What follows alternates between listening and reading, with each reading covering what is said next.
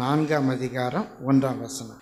பிரியமானவர்களே உலகத்தில் அநேகம் கள்ள தீர்க்கதரிசிகள் தோன்றி இருப்பதினால் நீங்கள் எல்லா ஆவிகளையும் நம்பாமல் அந்த ஆவிகள் தேவனால் உண்டானவைகளோ என்று சோதித்தறியுங்கள். பிரியமானவர்களே ஒன்று யோவான் நான்காம் அதிகாரம் ஒன்றாம் வசனம். பிரியமானவர்களே. உலகத்தில் அநேகம் கள்ள தீர்க்கதரிசிகள் தோன்றி இருப்பதினால் உலகத்தில் அநேக கள்ள தீர்க்கதரிசிகள் தோன்றி இருப்பதினால் இன்னார் இன்னார் கள்ள தீர்க்கதரிசி இன்னார் இன்னார் நல்ல தீர்க்கதரிசி என்று நான் ஆட்களை அடையாளம் காட்டும்படியாக அல்ல உபதேசத்தை உங்களோடு கூட பகிர்ந்து கொள்ளும்படியாக மாத்திரம் பேசுகிறேன் உலகத்திலே அநேக கள்ள தீர்க்கதரிசிகள் தோன்றி இருப்பதினால் நீங்கள் எல்லா ஆவிகளையும் நம்பாமல் நீங்கள் எல்லா ஆவிகளையும் நம்பாமல் அந்த ஆவிகள் தேவனால் உண்டானவைகளோ என்று சோதித்தறியுங்கள். அந்த ஆவிகள் தேவனால் உண்டானவைகளோ என்று சோதித்து அறியுங்கள். வெளிப்படுத்தின விசேஷம் ரெண்டாம் அதிகாரம் ரெண்டாம் வசனம். உன் கிரியைகளையும் உன் பிரயாசத்தையும் உன் பொறுமையையும் நீ பொல்லாதவர்களை சகிக்க கூடாமல் இருக்கிறதையும் கவனியுங்கள். அப்போஸ்தலர் அல்லாதவர்கள் தங்களை அப்போஸ்தலர் என்று சொல்லுகிறதை நீ சோதித்து அவர்களை பொய்யர் என்று கண்டறிந்ததையும் அறிந்திருக்கிறேன். அப்போஸ்தலர் அல்லாதவர்கள் தங்களை அப்போஸ்தலர் என்று சொல்லுகிறதை சோதித்து அவர்களை பொய்யர் என்று கண்டறிந்ததையும் தீர்க்கதரிசி அல்லாதவர்கள் தங்களை தீர்க்கதரிசிகள் என்று சொல்லுகிறதை நீ சோதித்தறிந்து அவர்களை பொய்யர் என்று கண்டறிந்ததையும் போதகர் அல்லாதவர்கள் தங்களை போதகர் என்று சொல்லுகிறதை நீ சோதித்து அவர்களை பொய்யர் என்று கண்டறிந்ததையும். சபையிலே தேவன் ஒரு எதிர்பார்ப்பை வைத்திருக்கிறார். கள்ள அப்போஸ்தலர்கள் கள்ள தீர்க்கதரிசிகள் கள்ள போதகர்கள் இதெல்லாம் தேவனால் அறியாமல் வந்த ஒன்றல்ல. தேவன் அறிந்திருக்கிறார் தேவன் அனுமதித்திருக்கிறார். சபைக்கு தேவன் ஒரு பொறுப்பு வைத்திருக்கிறார். நீ அவர்களை பொய்யர் என்று சோதித்து கண்டறி இவர்கள் கள்ள கிறிஸ்துக்கள் கள்ள போதர்கள் என்று நாம் அவர்களை முத்திரை குத்துவதை விட நாம் சோதித்து அறிந்து உண்மை உள்ளவர்களா பொய் உள்ள பொய்யானவர்களா என்று கண்டறிய வேண்டும். மரமானது கனியினாலே அறியப்படும். அவருடைய ஊழியங்கள் அவருடைய குடும்ப வாழ்க்கை அவருடைய தனிப்பட்ட வாழ்க்கை மரமானது கனியினாலே அறியப்படும். அதனால் அது அறிந்து கொள்வது கடினம் அல்ல சபை அறிந்து கொள்ள வேண்டும். விசுவாசிகள் பரிசுத்த ஊழியர்கள் அதை அறிந்து கொள்ள வேண்டும் என்று தேவன் விரும்புகிறார். தேயு ஏழு பதினைந்து வாசியுங்கள். மற்ற ஏழு பதினைந்து. கள்ள தீர்க்கதரிசிகளுக்கு எச்சரிக்கையாயிருங்கள். நம்ம தான் எச்சரிக்கையாக இருக்கணும். வேதம் சொல்லுது கள்ள தீர்க்கதரிசிகள் இருக்க மாட்டாங்கன்னு ஆண்டவர் சொல்லலை. முதலாவது இந்த கள்ள அப்போஸ்தலர்கள் கள்ள தீர்க்கதரிசிகள் கள்ள போதல் என்ற அந்த வேர்டுடைய டெஃபனிஷனை புரிந்து கொள்ளுங்க. இப்போ பாகாலுடைய பெயரில் பாகாலுடைய நாமத்தில் ஒருத்தன் தீர்க்க தரிசனம் சொன்னால் அவன் பாகால் தீர்க்க தரிசி அவன் கள்ள தீர்க்க தரிசி அல்ல. இன்றைக்கு வேறொரு ஆவியை கொண்டு இல்லாவிட்டால் வணங்குகிற ஒரு சாமியை கொண்டு இல்லை செத்து போன ஒரு ஆளுடைய ஆவியை கொண்டு யாராவது குறி சொன்னால் அவர்கள் கள்ள தீர்க்க தரிசிகள் அல்ல. அந்த ஆவியை கொண்டு அவர்கள் தீர்க்கதரிசனம் சொல்கிறாங்க குறி சொல்கிறாங்க குறி சொல்லுது என்றால் குறிப்பாய் சொல்லுகிறது. இன்றைக்கு பொதுவாக கிறிஸ்தவத்தில் உள்ள தீர்க்க தரிசனம் என்பது வேத வசனத்தின்படி உள்ள தீர்க்க தரிசன ஊழியம் அல்ல குறி சொல்லுகிற ஊழியம். குறி சொல்லுகிறது என்றால் குறிப்பாக சொல்லுகிறது. உனக்கு இன்னார் செய்வனை வைத்திருக்கிறார்கள் என்று குறிப்பாய் சொல்லுகிறது. உனக்கு இந்த இடத்துல வேலை கிடைக்கும் என்று குறிப்பாய் சொல்லுகிறது. நீ சாகவே சாவாய் என்று குறிப்பாய் சொல்லுகிறது. அதான் குறி சொல்லுகிறது ஒரு குறிப்பை சொல்லுகிறது. இன்றைக்கு தீர்க்க தரிசன ஊழியம் என்று செய்கிற அநேக ஊழியங்கள் குறி சொல்லுகிற ஊழியம்தான். அந்த தமிழ் சொல்ல எந்த தவறும் அல்ல. ஆனால் குறி சொல்லுகிற எல்லாரும் கள்ள தீர்க்கதரிசிகள் அல்ல. ஒருவேளை இயேசுவின் நாமத்திலே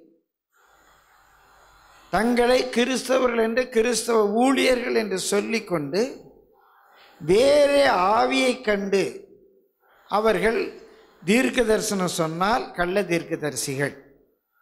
பாகாலை கொண்டு தீர்க்க தரிசனம் சொல்லுகிறவர்கள் கள்ள தீர்க்க தரிசிகள் அவர்கள் பாகால் தீர்க்க தரிசிகள் வேறொரு செத்த ஆவியை கொண்டு தீர்க்க தரிசனம் சொல்லுகிறவர்கள் கள்ள தீர்க்க தரிசிகள் அல்ல. அவர்கள் அந்த ஆவியை கொண்டு குறி சொல்லுகிறார் இல்லாவிட்டால் வணங்குகிற ஒரு தெய்வத்தை கொண்டு குறி சொல்லுகிறார்கள்.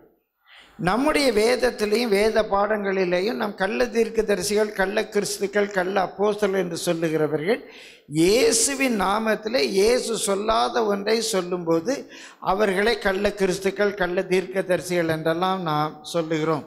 கர்த்தருடைய பரிசுத்த நாமத்துக்கு மகிமை உண்டாவதாக.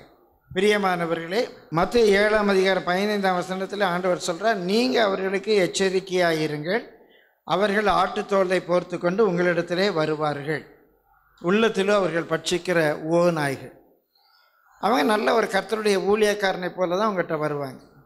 ஒருவேளை சூட் போட்டிருக்கலாம் இல்லை வேஷ்டி கட்டியிருக்கலாம் இல்லை ஜிப்பா போட்டிருக்கலாம் இல்லை வேறு ஏதாவது ஒரு ஊழியக்காரர் அங்கேயே போட்டிருக்கலாம். ஒரு ஊழியக்காரரை போல தான் அவங்ககிட்ட வருவாங்க. கையில் பைபிள் வச்சுருப்பாங்க.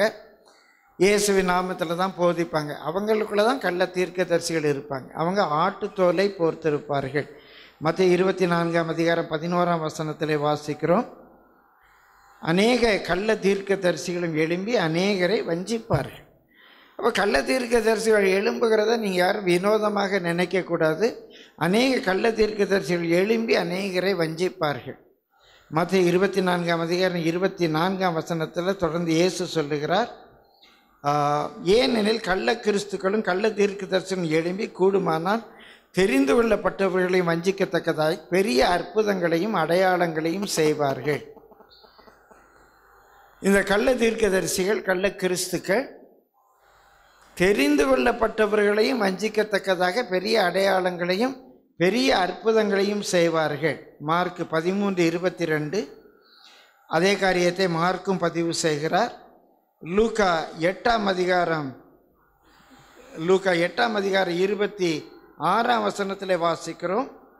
எல்லா மனுஷரும் உங்களை குறித்து புகழ்ச்சியாய் பேசும்போது உங்களுக்கு ஐயோ அவர்கள் பிதாக்கள் கள்ள தீர்க்க தரிசிகளுக்கும் அப்படியே செய்தார்கள். இதில் ஒரு அடையாளம் நம்ம பார்க்கலாம். நிறைய பேர் கள்ள தீர்க்க தரிசிகளை புகழுவார்கள். பிரியமானவர்களை கர்த்தருடைய ஊழியர்கள் பரிசுத்தவான்கள் இகழப்படுவார்கள் சத்திய மார்க்கம் தூஷிக்கப்படும். அதனால் யாரெல்லாம் புகழ்ச்சிக்குரியவர்களோ அவர்களெல்லாம் கள்ள கிறிஸ்துக்கள் கள்ள தீர்க்கதரிசிகள் என்றல்ல. ஆனால் புகழப்படுகிறதுனாலே அவங்க நல்லவங்க நினச்சிடக்கூடாது. ஏசு ஒரு அடையாளம் காட்டி சென்றார் கள்ள தீர்க்கதரிசிகளே அநேகர் புகழுவார்கள். இதெல்லாம் குறிப்பாக வைத்துக்கொள்ளுங்க யோவான் பத்தாம் அதிகாரம் ஒன்றாம் வசனத்தில் இயேசு கள்ள தீர்க்கதரிசிகள் பக்க வழியாய் வருவார்கள் என்பதை சொல்லுகிறார். ரெண்டு குழந்தையர் பதினோராம் அதிகாரம் பதிமூன்று முதல் பதினைந்து வசனங்களை வாசிக்க நேரமில்லை. அவர்கள் ஒளியின் தூதனுடைய வேஷத்தை தரித்து கொண்டு வருவார். நல்ல ஒரு பாஸ்டர் மாதிரி நல்ல ஒரு எவாஞ்சலிஸ்ட் மாதிரி நல்ல ஒரு பைபிள் டீச்சர் மாதிரி தான் அவங்க வருவாங்க. ஒளியின் தூதன் அப்படிங்கிறது தப்பு இல்லை. ஒளியின் தூதன் நம்ம எல்லாரும் ஒளியினுடைய தூதர்கள். ஏஞ்சல்ஸ் ஆஃப் லைட் ஆனால் பிசாசானவன் ஏஞ்சல் ஆஃப் லைட்டுடைய வேஷத்தில் வருவான். அதே போல் இந்த கள்ள தீர்க்கதரிசிகள் நல்ல தீர்க்கதரிசிகளுடைய வேஷத்தில் வருவார். ரெண்டு ஆண்டுகளுக்கு முன்பாக நம்முடைய விஓடியில் ப்ராஃபஸை அகெயின்ஸ்ட் ப்ராஃபட்ஸ் தீர்க்கதரிசிகளுக்கு விரோதமாக தீர்க்க தரிசனம் சொல்லு என்ற ஒரு செய்தியை நான் பேசியிருக்கேன். அந்த சிடி நம்ம ரிலீஸ் பண்ண எங்களுடைய மாஸ்டர் காப்பியில் அந்த சிடி இருக்கான்னு ட்ரேஸ் பண்ண அந்த சிடி கிடைக்கல. அந்த சிடி உங்கள்கிட்ட யாராவது இருந்தால் கொடுங்க. அதை நம்ம ரீப்ரொடியூஸ் பண்ணலாம். ப்ராஃபஸை அகெயின்ஸ்ட் ப்ராஃபிட்ஸ் தீர்க்கதரிசிகளுக்கு விரோதமாக தீர்க்க தரிசனம் சொல்லு என்று பேசி. தீர்க்கதரிசிகள் கள்ள தீர்க்கதரிசிகள் இருப்பார்கள். பெரிய பெரிய அற்புதங்களை செய்வார்கள். ஜனங்கள் அவர்களை புகழுவார்கள். பிரியமானவர்களை அவர்கள் ஆட்டுத்தோலை போர்த்திருப்பார்கள். நல்ல ஊழியக்காரர்கள் போல் அவர்கள் காணப்படுவார்கள். பிரியமானலே பவுல் எழுதுகிறார் ரெண்டு குருந்தியர் பதினோராம் அதிகாரத்தில் இருபத்தி எட்டாம் வச இருபத்தி ஆறாம் வசனத்தில் அதை வாசிங்க. ரெண்டு குருந்தியர் பதினொன்று இருபத்தி ஆறு. அநேக தரம் வாசிங்க அநேகந்தரம் பிரயாணம் பண்ணினேன்.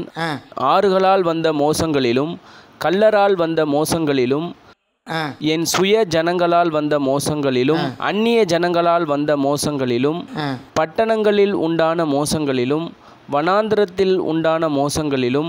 சமுத்திரத்தில் உண்டான மோசங்களிலும் கள்ள சகோதரரில் உண்டான மோசங்களிலும். இங்கே என்னென்ன விதத்திலெல்லாம் மோசம் வருமோ கள்ளர்கள் ஆறுகள் சமுத்திரம் என்னென்ன டேஞ்சர்லாம் இருக்கோ அதே மாதிரி நம்முடைய ஊழியத்தில் உள்ள ஒரு டேஞ்சர் கள்ள சகோதரர்கள். பிரியமானவர்களே புரஜாதியாரால் நமக்கு டேஞ்சர் வரும்னு நினைக்காதீங்க. ஏதோ கிறிஸ்துவ மத விரோதிகளால் நமக்கு பெரிய டேஞ்சர்லாம் இருக்கும்னு நான் நினைக்கல. நமக்கு வர்ற பெரிய டேஞ்சர் கள்ள சகோதரர்களாலே கள்ள கிறிஸ்துக்களாலே கள்ள ஊழியர்களாலே நமக்கு டேஞ்சர் வரும். ஏன்டா அன்பாக ஒரு ஊழியக்காரர் சொன்னார் ஃபஸ்ட் இதெல்லாம் நீங்கள் ஏன் போட்டு எடுக்கிறீங்க? யார் யார் என்ன பண்ணுறாங்களோ பண்ணிட்டு போகிறாங்க உங்களுக்கு என்ன? சிலர் பேரை சொல்லி சொன்னார் அவங்கெல்லாம் அடியாட்டில் வச்சுருக்காங்க தெரியுமா? அப்படின்னு முன்பு ஒரு காலகட்டத்தில் அநேக ஆண்டுகளுக்கு முன்பாக அப்போ நான் பைக் வச்சுருந்தேன். பைக்லேயும் போவேன் கார்லேயும் போவேன். எனக்கு அன்பான ஒருவர் சில காரியங்களை என்னை பற்றி அறிந்து என்னை தனியாக கூப்பிட்டு சொன்னார் உங்களுக்கு ஒரு ஆபத்து இருக்குது நீங்கள் இனி பைக்கில் போகாதீங்க. நீங்கள் பைக்கில் போகாதீங்க என்று என்னை எச்சரித்து அதனால் எனக்கு ஒரு பெரிய ஆபத்தெல்லாம் என்னை சூழ்ந்திருக்கா இல்லையா என்று தெரியலை. நமக்கு ஆபத்து கள்ள சகோதரர்களாலே உண்டு. எனக்கு உண்டு யார் யாரெல்லாம் சத்தியத்துக்கு கீழ்ப்படிய வேண்டும் என்று விரும்புகிறீர்களோ உங்களுக்கு கள்ள சகோதரர்களாலே மோசம் உண்டு. பிரியமானவர்களை சில வசனங்களை வாசித்து சீக்கிரமாக கடந்து போகும் கலாத்தியர் ரெண்டாம் அதிகாரம் நான்காம் வசனம். கலாத்தியர் ரெண்டு நான்கு கிறிஸ்து இயேசுவுக்குள் நமக்கு உண்டான சுயாதீனத்தை உளவு பார்த்து நம்மை நியாயப்பிரமாணத்திற்கு அடிமைகளாகும் பொருட்டாக பக்க வழியாய் நுழைந்த கள்ள சகோதர நிமித்தம் அப்படியாயிற்று. கள்ள சகோதரர்கள் நிமித்தம் அப்படி ஆயிற்று ரெண்டு தீமத்தை ரெண்டாம் அதிகாரம் பத் பதினாறாம் வசனம். ரெண்டு தீமத்தை ரெண்டு பதினாறு. சீர்கேடான சீர்கேடான வீண் பேச்சுகளுக்கு விலகியிரு.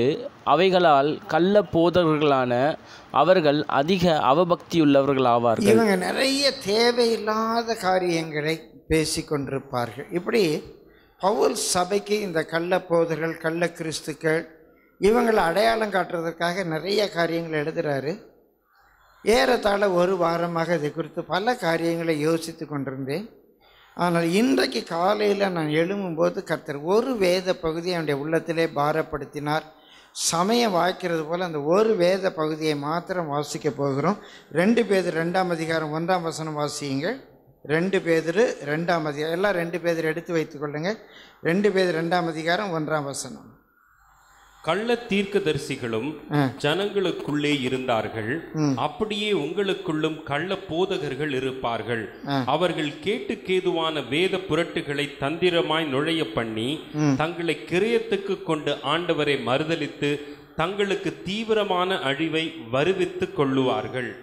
அவர்கள் கெட்ட நடக்கைகளை அநேகர் பின்பற்றுவார்கள். அவர்கள் நிமித்தம் சத்திய மார்க்கம் தூஷிக்கப்படும். பிரியமானவர்களே கத்துடைய பரிசுத்த நாமத்துக்கு மகிமை உண்டாவதாக.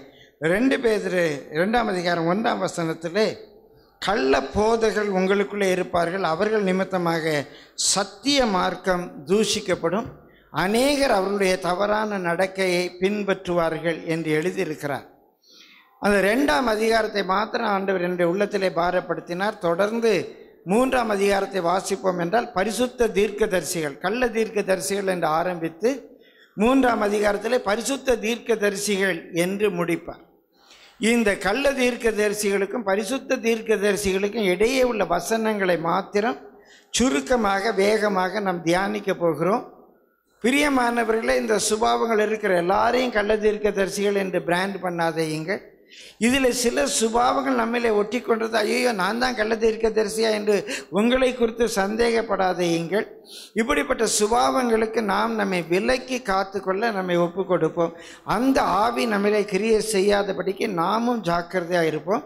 அங்கே பவுல் நமக்காக பரிசுத்தவான்களுக்காக இந்த கள்ள போதர்களை குறித்து அநேக விவரங்களை சொல்லி கொண்டு வருகிறார்.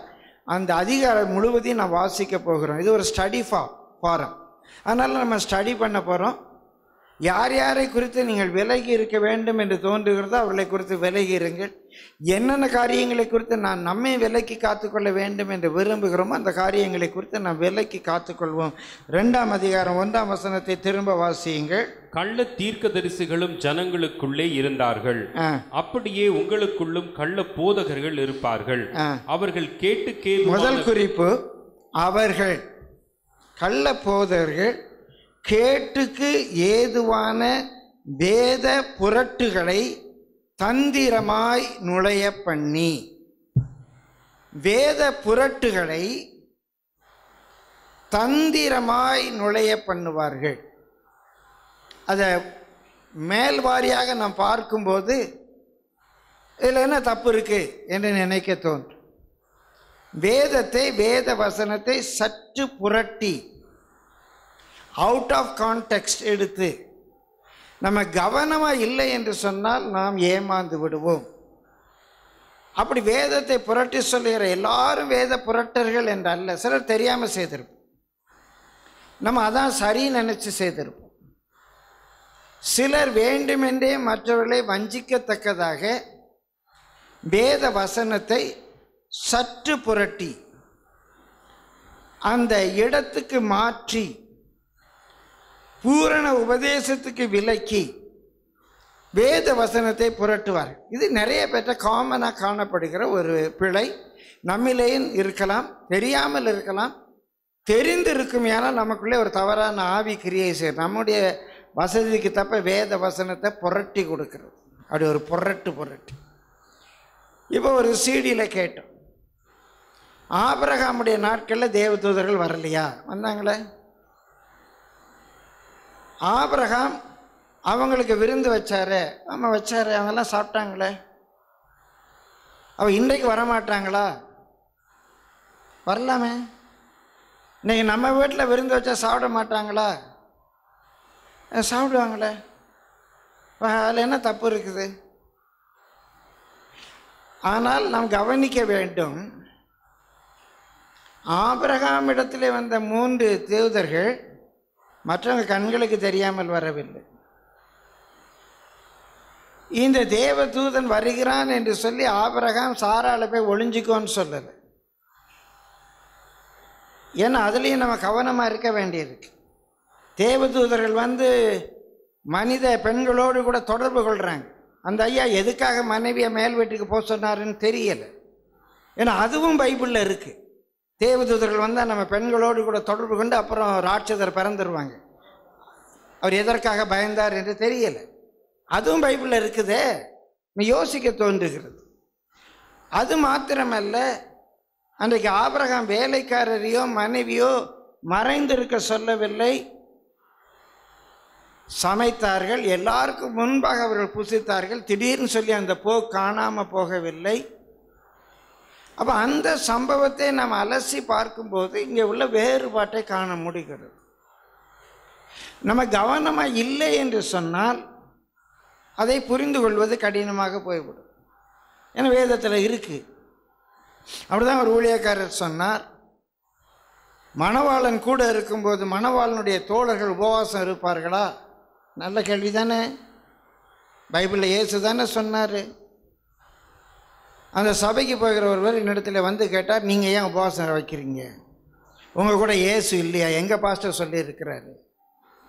மணவாளன் கூட இருக்கும்போது மணவாளனுடைய தோழர்கள் உபவாசம் இருப்பாங்களா? கரெக்டு பைபிளில் சொல்லி இருக்கிற இப்போ ஏசு இருக்காரா இல்லையா நம்ம கூட? ஒரு சந்தேகம் வரத்தானே சரி சரியாக கேட்குறாங்கல்ல நச்சுன்னு கேட்குறாங்கள வசனம் சொல்லி தானே கேட்குறாங்க நம்ம யோசித்து பார்க்குறோம். மணவாளன் கூட இருக்கும்போது மணவாளனுடைய தோழர்கள் உபவாசம் இருக்க மாட்டாங்க. உண்மைதான் ஐயா. மணவாளன் எந்த வீட்லையாவது உபவாசம் இருப்பான் ஐயா? கல்யாணத்துக்கு முன்னால் இந்த பொண்ணை கட்ட போகிறேன் ஆண்டவரே. என்னை காப்பாற்றுன்னு உபவாசம் இருப்பான்? மணவாளனுடைய தோழர்களே உபவாசம் இருக்க மாட்டாங்க. மணவாளன் உபவாசம் இருப்பான்னு அவர் கேள்வி வருது. இவர் உபவாசம் இருந்தார் அப்போ இவர் மணவாளனா இல்லையா? இல்லை வேற மணவாளனை பற்றி பேசுகிறாரா அங்கே யார் மணவாளன்? அந்த பையன்கிட்ட கேட்டேன். சொல்லுங்க நான் இல்லைப்பா உங்கள் பாஸ்டர்கிட்ட கேட்டுட்டு வா. அவர் தெரியாதுங்கண்ணே அவர் சொன்னதை தானே நீ வந்து சொன்ன? போய் கேட்டு வா. மணவாளன் உபவாசம் இருந்தார். அந்த க- ஓமையில் ஏசு சொன்ன மணவாளன் ஏசுவா வேற ஒரு மணவாளனா? யார் அவங்கன்னு கேட்டு வாப்பான்னு. இன்னை வரை கேட்டு வர்றேன் இன்னொரு கேள்வி கேட்டேன். அதிலே ரெண்டு வசனம் கழிச்சு மணவாளன் இவர்களை விட்டு எடுபடும் காலம் வரும் அப்பொழுது இவர்கள் உபவாசம் இருப்பார்கள் என்று சொன்னாரே. இயேசு அவங்கள விட்டு போயிட்டாரா? இதோ உலகத்தின் முடிவு பிறந்த சதா காலங்களில் நான் உங்களோடு கூட இருப்பேன்னு சொன்னார. இங்கே எடுபடும் காலம் வருமுன்னாரு ரெண்டு இடத்துல ரெண்டு மாறி மாறி சொல்லியிருக்கிறாரு. அந்த இயேசுவை நம்பலாமான்னு? என்ன பாஷை தலை சுத்துது என்ன? போ கேட்டுவாடா எல்லாத்துக்கும் கேள்வி கேட்டுவா? சொன்னார்னு வந்து சொன்னல இப்போ கேட்டுவான் தலை சுற்றி போனான் என்ன ஆச்சு? பிரியமானவர்களே பவுல் உபவாசம் இருந்திருக்கிறார். பல முறை உபவாசத்தினாலும் பசியினாலும் உபவாசத்தினாலும்னு சொல்கிறாரு அவருக்கு தெரியாதா? பேதுரு சொல்லுகிறார். அவங்களுக்கெல்லாம் தெரியாதா? இயேசு சொல்லுகிற உபவாசத்தை பற்றி பிரியமானவர் அப்போ நம்ம கொஞ்சம் ஆராய்ந்து பார்க்கல என்று சொன்னால் இந்த வேத புரட்டுகள் வேதத்தை அப்படி புரட்டி ஒரு அப்படி ஒரு புரட்டு புரட்டு சொல்லும்போது நம்ம ஏமாந்துடும் ஆமாம் பைபிளில் சொல்லியிருக்கு. அப்போ வேத வசனத்தை ஆராய்ந்து பாருங்கள். அவங்க சொல்கிறது தப்பு இல்லை நம்ம எச்சரிக்கையாக இருக்கும் திரும்ப சொல்கிறேன் அவங்க சொல்கிறது தப்பு இல்லை அப்படி இப்போ கள்ள போதர்கள் தோன்றுவார்கள். கள்ள தீர்க்க தரிசிகள் தோன்றுவார்கள். அது தேவனுடைய அவருடைய அட்டவணையில் அது இருக்குது நீங்கள் எச்சரிக்கையாக இருங்க. ஒரு ஊழியக்காரர் எழுதியிருக்கிற முழங்கால் படிட்டு ஜெபிக்க வேணாம். யார் முழங்கால் படியிடுவா? ஸ்கூலில் ஹோம்ஒர்க் செய்யலைன்னா முழங்கால் படியிடுவாங்க. போலீஸில் விசாரணை கைதியை முட்டி போட வைப்பான். எந்த வீட்லையாவது அப்பா பிள்ளை தகப்பன்ட்ட பிள்ளை தகப்பன்ட்ட முட்டி போட்டு எப்பா என்ன இது தான்னு கேட்குதா உங்கள் அப்பாட்ட ஜெபிக்கிறதுக்கு நீ முட்டி போட்டு ஜெபிக்கணுமா? எழுதியிருக்காரு ஒருத்தர் ஃபோனில் பதறி எனக்கு வாசிக்கிறார். நான் சொன்னேன் எல்லாம் சரிதானேன்னு. கை சரிதான் அவர் சொன்னால் இல்லை தப்பு இருக்கா? அது பெரிய ஊழியக்கார். பேரை சொல்லி புஸ்தகத்திலேருந்து வாசிக்கார். ஃபோன்லேயே வாசிக்கார். நான் சொன்னேன் எல்லாம் சரிதான்ப்பா. என்ன என்னென்ன நீங்களும் அப்படி சொல்கிறீங்கன்னு ஆமாம் உங்கள் வீட்டில் உங்கள் பையன் முட்டி போட்டால் கேட்குறான் அவர் எழுதியிருக்க சரிதானே? ஹோம்ஒர்க் செய்யலைன்னா தானே முட்டி போடணும்? ஆனால் இந்த அறிவு இயேசுவுக்கு இல்லாமல் போயிடுச்சு. அவர் அவங்க அப்பாட்ட முட்டி போட்டு சவம் பண்ணியிருக்காரு. இந்த ஊழியக்காரர் இருக்கிற அறிவு இயேசுக்கு இல்லையா? அவர் படிச்சிருந்தா தானே இருக்கும். பைபிள் காலேஜ் போனால் தானே அவருக்கு இருக்கும். இந்த அறிவு பவுல் பெரிய தத்துவ ஞானிங்கிறான் அவனுக்கு இல்லையா? இவர் சொன்னதெல்லாம் சரி. அதில் பிரச்சனையே இல்லை. பிரச்சனை யார்கிட்ட இருக்குது பவுல்கிட்ட இருக்குது நான் முழங்கார் படியிட்டுன்னு பவுல் எழுதுறான் பாருங்க அவனுங்க ஆண்டவருக்கும் அப்படி ஒரு ரிலேஷன்ஷிப் இல்லை. ஆனால் இவருக்கும் இயேசுக்கும் இவருக்கும் தேவனுக்கும் ரொம்ப க்ளோஸ் ரிலேஷன்ஷிப் எனக்கு எப்பா இயேசுவை விட பவுலை விட கூடுதலான அறிவு எனக்கு வேண்டாம். நான் இயேசுவை மாதிரியே இருந்துட்டு போகிறேன் இவரை மாதிரி மாறி நான் வேற எங்கேயாவது போயிடக்கூடாது. என்ன என்னண்ணா இப்படி சொல்கிறீங்க ஆமாம் அவர் சொன்னதில் தப்பே இல்லை. ஆனால் நான் ஏசுவ மாதிரி இருந்துக்கிறேன். அவர் முழங்கார் படியிட்டு செபிச்சார் பவுல் சொல்கிறார் நான் முழங்கார் படியிட்டுன்னு எழுதுறாரு.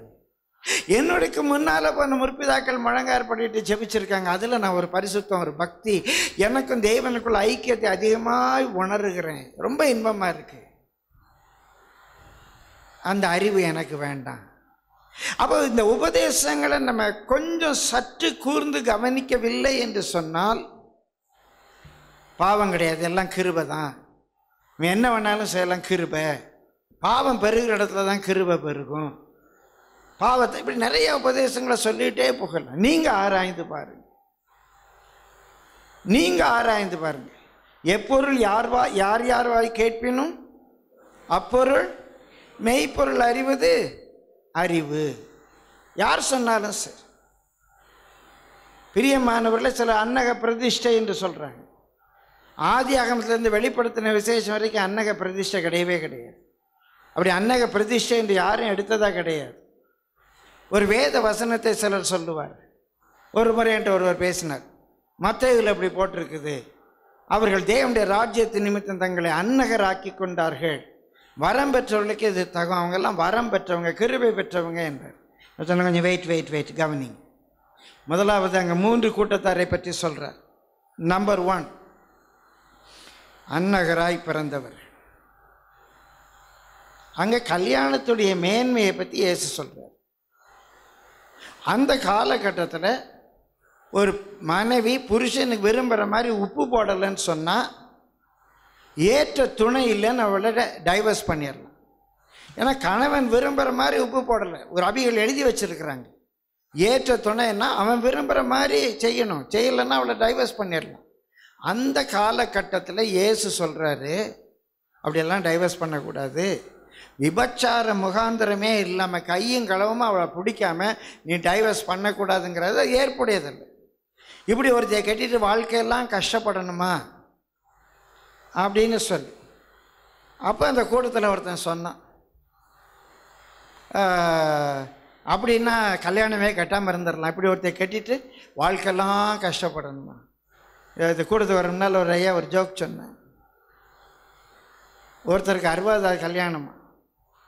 எல்லாரும் சந்தோஷமாக இருக்காங்களாம். அந்த ஆள் மாத்திரம் அழுதுகிட்டு இருந்தாராம். ஏன்பா அறுபதாவது கல்யாணத்து அன்னைக்கும் போய் அழுதுகிட்டு இருக்கேன்னாராம் அவன் சொன்னான் அறுபது வருஷம் கழிச்சு அவ கூடயே தானே திரும்ப கல்யாணம் கட்டி வைக்கிறாங்கன்னு இப்படி இன்றைக்கு உள்ள சூழ்நிலையே இருக்கும்போது அன்னைக்கு ஒருத்தன் சொன்னால் எப்பா இப்படி இருந்தால் கல்யாணமே கட்டாமல் இருக்கலாம் அப்படின்னு. அதுக்கு ஆண்டவர் சொன்னார் டே எல்லா பயல்களாலும் அது முடியாது.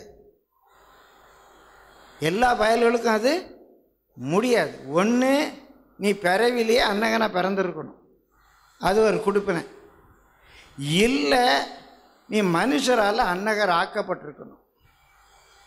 அந்த ராணியுடைய அரண்மனையில் வேலை செய்கிறோன்னு அதுக்கு அன்னகர் ஆக்கிடுவாங்க ஏன்னா ராணிக்கு பிறக்கிற குழந்தை ராஜாவுடைய குழந்தைய வேலைக்காரனுடைய குழந்தையா என்று தெரிந்து தெரியாமல் போய்விடும் என்று அன்றைக்கு ராணி அரண்மனையில் பணி செய்கிறவர்கள் அன்னகர் ஆக்கி விடுவார். நீ மனுஷரால் அன்னகர் ஆக்கப்பட்டிருக்கணும். இல்லை மோட்சத்துக்கு போகணும் கைலாசத்துக்கு போகணுன்னு நீ உன்னை அன்னகர் ஆக்கி இருக்கணும் இப்படி வரம் பெற்றவர்களை தவிர வேறு யாருக்கும் இது பொருந்தாதுடா நீ கல்யாணம் கட்டு.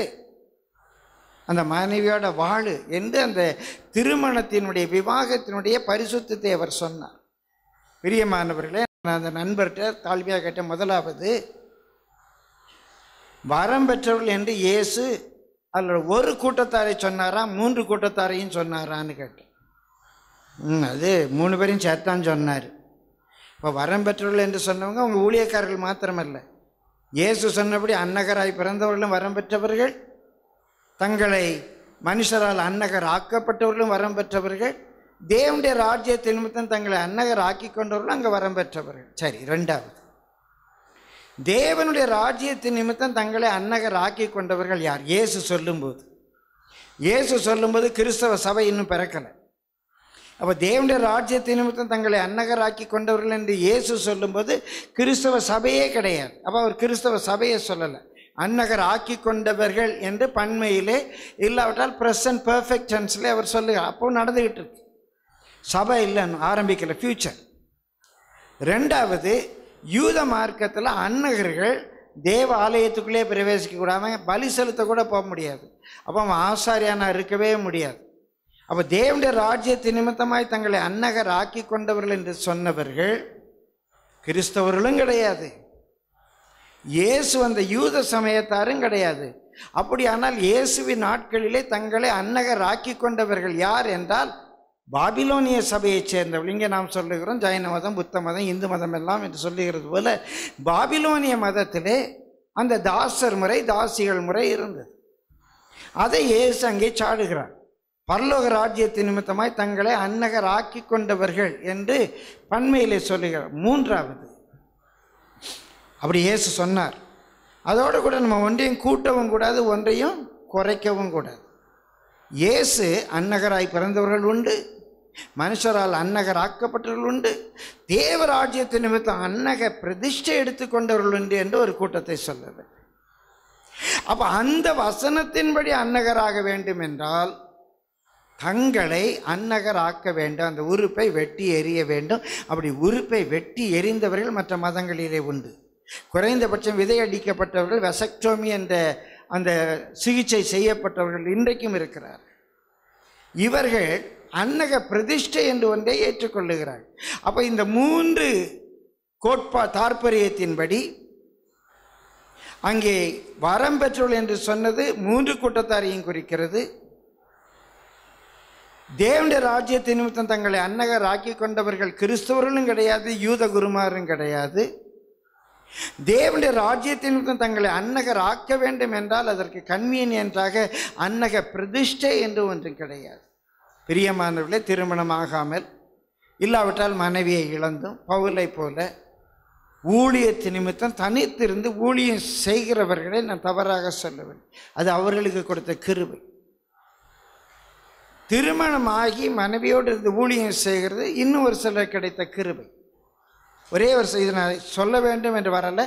நம்ம கவனமாக இல்லை என்று சொன்னால் வேத வசனத்தை புரட்டி விடுவார். வேத வசனத்தை ஆராய்ந்து பாருங்கள் அதனாலே உங்களுக்கு நித்திய ஜீவன் உண்டு. அநேக ஆண்டுகளுக்கு முன்பு எழுபத்தி ஏழு எழுபத்தி எட்டாக இருக்கும் என்று நினைக்கிறேன். நாங்கள் திருமணமான புதிது. அப்போது அடையாறில் உள்ள சிஷ்யா என்ற ஒரு பெரிய பள்ளிக்கூடத்தில் நான் வேலை பார்த்து கொண்டிருக்கிறேன். அடையாறுலேருந்து நாங்கள் எங்கள் வீடு அயனாவரம் நான் டுவெண்ட்டி நைன் சீல் டுவெண்ட்டி த்ரீ சீல வர வேண்டும். அடையாறுலேருந்து ரெண்டு ஊழியர்கள் அதே வண்டியில் ஏறி இருந்தார்கள். அதில் ஒருவருக்கு என்னை தெரியும். நாங்கள் ரெண்டு பேரும் ச- நவரஜ சபையிலே ஒன்றாக இருந்தவர்கள். இன்னொருவர் புதிதாக அந்த ஊழியத்திலே சேர்ந்தார். என்னை அவர் பார்த்த உடனே அவங்க ரெண்டு பேர் உட்கார்ந்துருக்கிற சீட்டில் எனக்கும் கொஞ்சம் இடம் கொடுத்தாங்க. அப்போ இது நீ இப்போ என்ன பார்க்குற மாதிரி இப்படி பெரிய உருவமாக இருக்க மாட்டேன். கொஞ்சம் ஒல்லி நல்லாவே ஒல்லியாக இருப்பேன். அதனால் ரெண்டு பேரும் சேர்ந்து எனக்கு சீட்டில் இடம் கொடுத்தாங்க. அதில் ஒருவருக்கு உண்மையான ஒரு நல்ல வாஞ்சை. எப்படியாவது சத்தியத்தை எனக்கு சொல்லணும். அப்போ எனக்கு இருபத்தாறு வயசு. சத்தியத்தை எனக்கு சொல்லணுங்கிற வாஞ்சையில் அவர் படித்த சத்தியத்தெல்லாம் சொல்ல ஆரம்பிக்கிறார். நாங்கள் தான் சியோன் நாங்கள் தான் சியோன்னு சொல்லிட்டு வர்றாரு. கிட்டத்தட்ட அடையார்லேருந்து எக்மோர் வரைக்கும் கொஞ்சம் தம் பிடிச்சிட்டு வந்தேன் எக்மோரில் வந்தோடனே நான் ஒரு கேள்வி கேட்டேன். ஏ நீங்கள் தான் சியோன்னு சொல்கிறீங்களா சியோனில் பாவிகள் நடுங்குகிறார்கள் மாயக்காரரை திகைப்பு பிடித்ததுன்னு இருக்க அது உங்களை பற்றி தான் சொல்லியிருக்கான்னு. கூட வந்தேன் நான் அப்போவே சொன்னேன். கேட்டியா? நான் அப்போவே சொன்னேன். கேட்டியாங்க. இவர் அது அது வேறு சியோன்னார். அது எந்த சியோன்னு கேட்டேன். ரெண்டு சியோன் இருக்குன்னார் நாங்கள் ஏழு சியோன் இருக்குன்னு.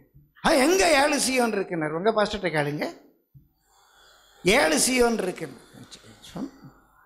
ஏன்ட வந்து கேட்காதீங்க ஏழு சியோன் எதுலான்னு கேட்டால் சொல்லி போடுவேன். ஏழு சியோன் இருக்கு அவர் என்ன பண்ணது ஏன்னா அவர் படித்தது ரெண்டு சியோன் வரைக்கும் தான் இன்னும் அஞ்சு சியோன் என்னத்தை சொல்கிறான்னு அவருக்கு புரியல. அப்போ அவர்கிட்ட கேட்டேன் திருமணம் ஆகிறது ஒரு அப்புறம் அவருடைய பிரதிஷ்டையை பற்றி சொன்னார். உங்கள் பிரதிஷ்டையை பற்றி மேன்மை பாராட்டுறீங்களா? உங்கள் பிரதிஷ்டை கிருபையா? இல்லை உங்கள் வில் பவரான் கிருபை தான் அப்படின்னார். கிருபை பெற்றுக்கொண்டவன் எவனும் பெற்றுக்கொள்ளாதவனை போல மேன்மை பாராட்டுதல் எங் எங்கேன்னு கேட்குறாரு கிருபையான மேன்மை பாராட்டுதல் ஒளிந்து போகுமேன்னு. அது இல்லைங்க கிருபைனா மேன்மை பாராட்டுதல் ஒளிந்து போகும். உங்கள் வில் பவர்னால் இதை விட பிரதிஷ்டை பண்ணவன் காஞ்சிபுரத்தில் இருக்கிறான். எதுங்க அப்படின்னு கேட்டேன் கூட இருந்தவர் திட்ட ஆரம்பிச்சு பேசாதன்னு சொன்னோம்லாங்க இவர் நல்ல மனுஷன். எனக்கு சத்தியத்தை சொல்லணுங்கிற வாஞ்சது தப்பு கிடையாது. திருமணம் ஆகிறது அவரை பிரதிஷ்டை பற்றி சொல்லுமே கேட்டால் திருமணம் ஆகிறது ஒரு வரம்னு. அது எங்கள் பைபிளில் இருக்குன்னு. என் பைபிளில் இருக்கு. ஆ அப்படிலாம் இல்லை. நீங்கள் சும்மா சொல்கிறீங்க இல்லைங்க என் பைபிளில் இருக்கு. திருமணம் ஆகிறது ஒரு வரம். எல்லாருக்கும் அந்த கொடுப்புன்னு இருக்காது. எங்கே இருக்குன்னு? பிற சொல்கிறேன் உங்களுக்கு தெரியணுமா? இப்போ சொல்லிடுறேன். பவுல் திருமணத்தை பற்றி சொல்லுவது அந்த வரம் ஒருவனுக்கு ஒரு விதமாயும் இன்னொருவனுக்கு வேறு விதமாயும் இருக்கிறது. ரெண்டும் வரம் தான். ஒருவனுக்கு அந்த வரம் ஒரு விதமாக இருக்கிறது இன்னொருவனுக்கு அந்த வரம் வேறு விதமாக இருக்கிறது. ரெண்டும் கிருபை தான். அப்போ என் வாழ்க்கையில் அப்போ கொஞ்சம் நடந்த ஒரு சம்பவத்தை சொன்னாங்க. திருமணமான புதிது. ஒரு நாள் சிஸ்டருக்கு உடம்பெல்லாம் பயங்கர சூடாயிடுச்சு. எனக்கு இருபத்தஞ்சி வயசு அவங்களுக்கு இருபத்தி மூணு வயசு. என்ன பண்ணுறதுன்னு எனக்கு தெரியாது. உடனே என்னுடைய ஆஃப்டர் ஷேவ் லோஷனை கொஞ்சம் கையில் ஊற்றி உடம்பெல்லாம் தேய்ச்சி விட்டேன். கொஞ்ச நேரத்தில் உடம்பு ஜில்லுன்னு ஆயிட்டு. சத்த மீன் மாதிரி ஜில்லுன்னு ஆயிடுச்சு. எனக்கு என்ன பண்ணேன்னு தெரில அன்னைக்கு பெரிய பாளையத்தில் ஒரு ஆல்நைட் ப்ரேயரில் நான் பேசணும். எங்கள் வீடு அயனாபுரத்தில் ஒரு மாடி வீடு. பிரியமானவர்களே நான் செஞ்சது முட்டாள்தனமோ பைத்தியகாரத்தனமோ என்னமோ தெரியாதுங்க. இருபத்தி ஆறு வயசில் என் மனைவியை பார்த்து எம்மா நான் நைட்டில் பெரிய பாளையம் போயிட்டு வரேன். நீ தயவுசெய்து டோரில் போல்ட்டு போட்டுறாது. நான் காலையிலேயே வந்து பார்க்குறேன்ட்டு போனேன். ஏன் போல்ட்டு போட்டுறாதுன்னு சொன்னால் ஒருவேளை ராத்திரி செத்து போயிட்டா என்ன பண்ணுறது எப்படி உள்ளே வர்றது? இருபத்தி நான்கு வயது பெண்ணை நான் இன்னைக்கு நைட்டு பெரிய பாளையம் போகிறேன் நீ போல்ட்டு போட்டு படுக்காத. இருப்பாளோ இருக்க மாட்டாளோ தெரியாது. பிரியமானவர்கள் எனக்கு கிடைத்த கிருபை எல்லாம் அவங்களுக்கும் அந்த கிருபை கிடைத்து சரி போயிட்டு வாங்கன்னாங்க. எங்கள் அப்பாவுக்கு சொல்லலை எங்கள் அம்மாவுக்கு சொல்லலை என் உடன் பிறந்தவங்களுக்கு சொல்லலை. ரெண்டு தெரு தாண்டி அவங்க உடன் பிறந்தவங்க அவங்களுக்கு சொல்ல ஊழியத்துக்கு தானே போகிறேன் இந்த இன்சிடெண்ட் அவர்கிட்ட சொல்லி சொன்னேன் எப்பா கல்யாணம் கட்டினா அவன் குடும்பம் குடும்பம் சொல்லி சபையை விசாரிக்க மாட்டான். அதனால் கல்யாணம் கட்டாதீங்கன்னு பவுல் சொன்னார். எனக்கு என்னை நம்பி கர்த்தர் கொடுத்துருக்கிற கிருவை பெரியது. இவன் கல்யாணம் கட்டினாலும் ஊழியத்தை ஒழுங்காக செய்வான்னு கர்த்தர் என்ன நம்பி அதற்கேற்ற கிருவியை கொடுத்தாரு. உங்களுக்கு அந்த கிருவை தரலை. தயவு செய்து கட்டி போடாதீங்க. கட்டினீங்கன்னா பொண்டாட்டி பொண்டாட்டின்னு சுற்றிக்கிட்டே இருப்பீங்க. நீங்கள் ஊழியம் செய்ய மாட்டீங்க. உங்களை அழைத்த தேவன் உங்களுக்கு அந்த கிருபையை கொடுத்துருக்கிறார். என்னை அழைத்த தேவன் எனக்கு இந்த கிருபையை கொடுத்துருக்கிறார். இவன் இதனை செய்வான் என்று என்னை நம்பி அவர் எனக்கு தந்த ஊழியம் இது. பெருமைக்காக சொல்ல கொஞ்சம் வசனத்தை ஆராய்ந்து பாருங்க. இருபத்தாறு வயசில் நான் பேசுனது நடந்த சம்பவம். இன்றைக்கு நான் அவர்களை குறை சொல்லலை. நான் யாரையுமே குறை சொல்லலை. இங்கே கூடி வந்திருக்கிற உங்களுக்கு நான் சொல்கிறேன் கள்ள தீர்க்கதரிசி இருக்காங்க. அவங்க கள்ள போதகர் இவங்க கள்ள போதகர் என்று சொல்கிறத விட எந்த ஆவியையும் நீங்கள் சோதித்து அறியுங்கள். நீங்கள் சோதித்து அறியுங்கள்.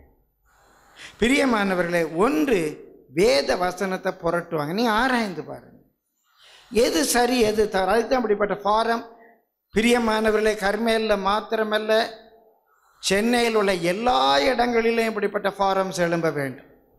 சென்னையில் மாத்திரமல்ல தமிழகம் முழுவதும் இப்படிப்பட்ட சத்தியத்தை சத்தியமாய் கற்றுக்கொள்ளக்கூடிய விசுவாசிகளுடைய கூடுகை எழும்பணும். கொஞ்சம் கைத்தட்டி கத்துற ஸ்தோத்திரிங்களேன். நீங்கள் எல்லாரும் இருக்கிற இடங்கள் இப்படிப்பட்ட கூடுகைகளை கூட்டுங்க. ஒரு சத்தம் கேட்குமானா எல்லாம் உடனே கூடியது எது? சரியா தப்பா? ஆராய்ந்து பாருங்க. வேத வசனத்தை ஆராய்ந்து பாருங்க. அதனால உங்களுக்கு நித்திய ஜீவன் உண்டு. இவங்க சொன்னாங்க அவங்க சொன்னாங்க என்றல்ல. கள்ள போதல் உண்டு. கள்ள உபதேசங்கள் உண்டு. கள்ள கிறிஸ்துக்கள் உண்டு. நீங்களும் நானும் எச்சரிக்கையாக இருக்க வேண்டும். முதல் சிம்டம் பத்து குறிப்புகளை சொல்ல வேண்டும் என்று நினைச்சேன். எவ்வளோ சொல்ல முடியும்னு தெரியல. முதல் சிம்டம் அவங்க வேத வசனத்தை புரட்டுவார்கள். தந்திரமாய் நுழைய பண்ணுவார்கள். தன் கிருபை பெரு பாவம் பெருகினால் கிருபை பெருகும். அதோடு சேர்த்து அதனால் பாவம் செய்யலாமா? பாவம் செய்யலாமா? இப்போ செய்யக்கூடாது. அப்போ கிருபை பெருக என்ன பண்ணணும்? பிரியமானவர்களை சிலர் வஞ்சிப்பதற்காக சொல்லுவார்கள். சிலர் தங்களையும் வஞ்சித்து மற்றவர்களையும் வஞ்சிப்பார்கள். இயேசு சொன்னார் இவர்களுக்கு எச்சரிக்கையாய் இருங்கள். தொடர்ந்து ரெண்டு மூன்று வாச ரெண்டாம் வசனம் வாசியுங்கள். அவர்களுடைய கெட்ட நடக்கைகளை அநேகர் பின்பற்றுவார்கள். அவர்கள் நிமித்தம் சத்திய மார்க்கம் தூஷிக்கப்படும். ரெண்டாவது குறிப்பை சொல்லி கடந்து போகிறேன் இந்த கள்ள போதர்களை நீங்கள் எப்படி ஐடென்டிஃபை பண்ணலான்னா பொதுவான கிறிஸ்தவ மார்க்கம் தூஷிக்கப்படாது. இயேசுவினுடைய பெயர் தூஷிக்கப்படாது. ரெண்டு மார்க்கம் இருக்கு. பொதுவாக கிறிஸ்தவ மார்க் பொதுவான கிறிஸ்தவ மார்க். சத்திய மார்க்கம் தூஷிக்கப்படும். சத்திய மார்க்கம்னா என்ன? வேற ஒன்றும் இல்லை. Two plus two is equal to four அதான் சத்தியம். இது வேர்ட் ஆஃப் காடே இல்லைங்கிறாங்க. அது அவருக்கும் கருத்து இருக்கும் இந்த வசனமே சத்தியம். இயேசு சொன்ன வசனமே சத்தியம். அது இந்த பயதத்தில் தான் இருக்கு. இந்த வசனமே சத்தியம். இந்த சத்தியத்துக்கு ரொம்ப எளிமையான ஒரு பத விளக்கம் two plus two is equal to four அதான் சத்தியம். Two plus two is equal to four அதான் சத்தியம். டூ ப்ளஸ் டூ மூணே முக்கால் சத்தியம் இல்லை. டூ ப்ளஸ் டூ நாலே கால் சத்தியம் இல்லை. சத்தியம்னா two plus two is equal to four இந்த வேத வசனம் தான் சத்தியம். இந்த வேத வசனம் தான் நமக்கு வேர்ட் ஆஃப் காட் ஏசு தான் வேர்ட் ஆஃப் காட் இந்த வேர்ட் ஆஃப் காடை ஏ இந்த பைபிள் தான் நமக்கு வெளிப்படுத்தி இருக்குது. பிரியமானவர்கள் இதை நமக்கு எழுதி கொடுத்துருக்குறாங்க. இது தேவன் பேசின வார்த்தைகள் கிடையாது. தேவ ஆவியினால் ஏவப்பட்ட வார்த்தைகள் என்று நாம் ஏற்றுக்கொண்டிருக்கிறோம். நம்ம யாரும் மத்தையும் பார்த்ததில்ல மார்க்கையும் பார்த்ததில்ல பவுலையும் பார்த்ததில்ல நம்ம இயேசுவையும் பார்த்தது கிடையாது. ஆனால் தேவன் நம்முடைய கைகளில் இதை மாத்திரம் கிடைக்க பண்ணியிருக்கிறார்.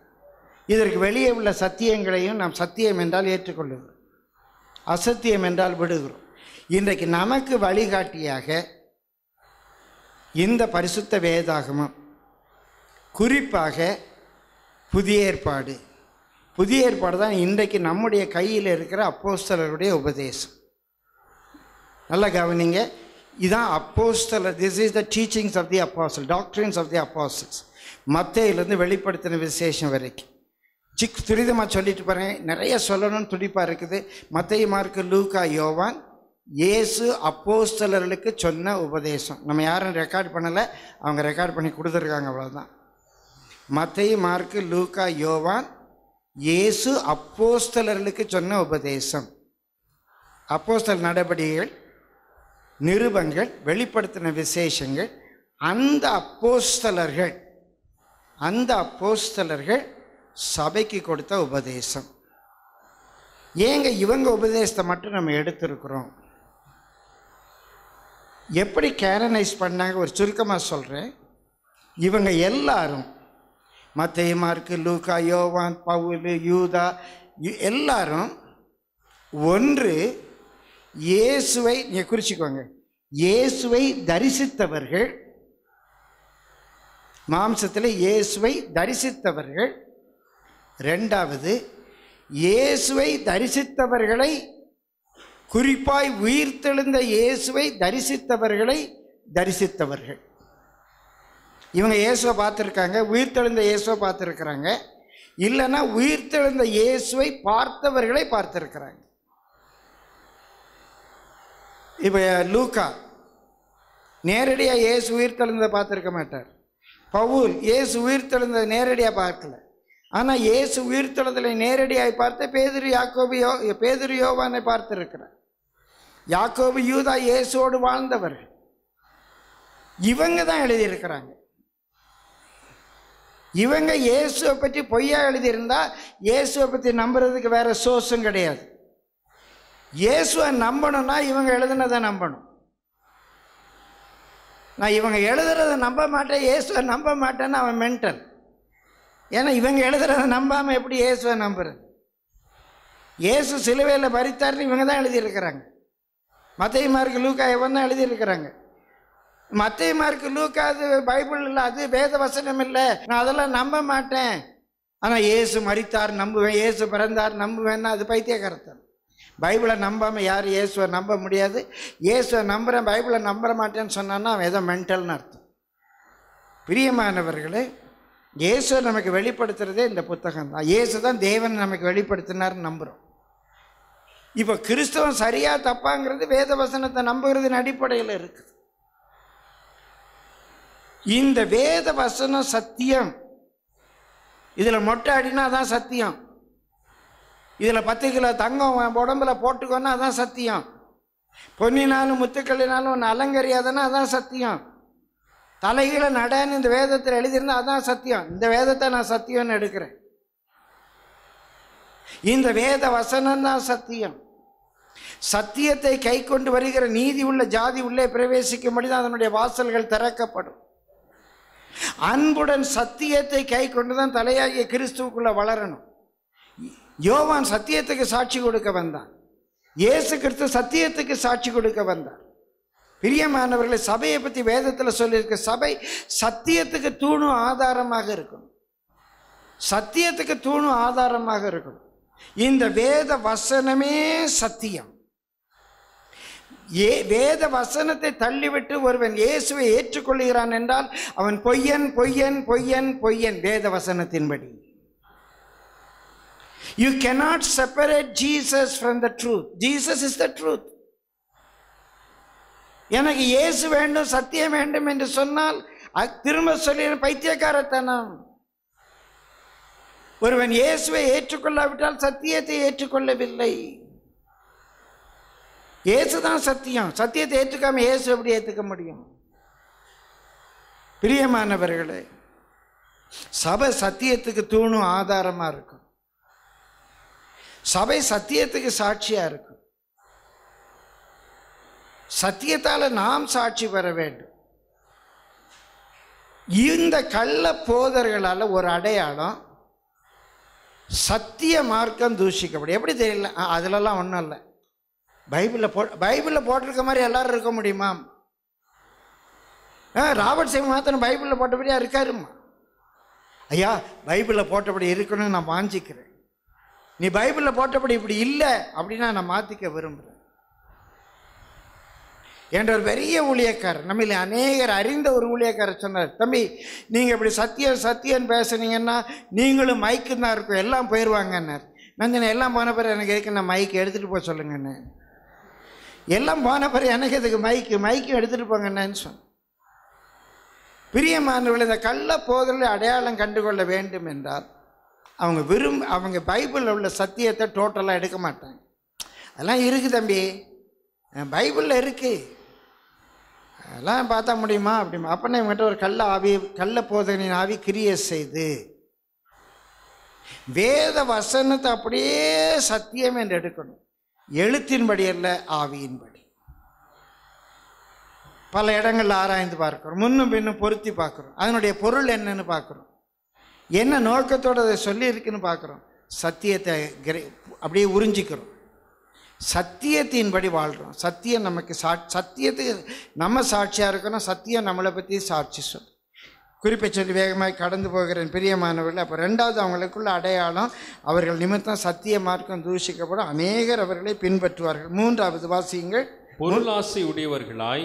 தந்திரமான வார்த்தைகளால் உங்களை தங்களுக்கு ஆதாயமாக வசப்படுத்திக் கொள்ளுவார் மூன்றாவது இந்த கள்ள போதக ஆவி கிரியை செய்கிறவர்களை நீங்கள் ஐடென்டிஃபை பண்ணணும்னா ரொம்ப பொருளாசை.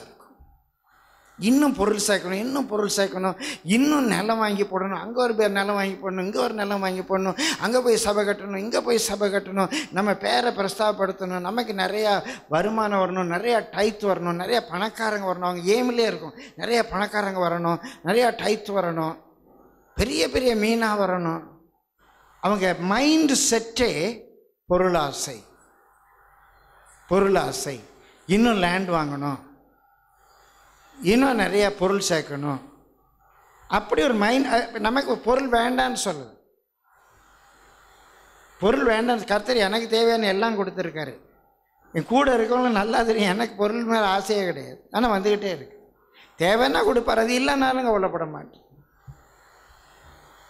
பிரியமானவர்களே எனக்கு பிஎம்டபிள்யூவில் போனாலும் ஒன்று தான் இனோவாவில் போனாலும் ஒன்று தான் நம்ம தம்பிமாரோட கூட திடீர்னு ஏறி பைக்கில் போயிடுவேன் நடந்து போயிடுவேன் ஒரு மாதிரி தெருவெல்லாம் பயங்கர வெள்ளம்.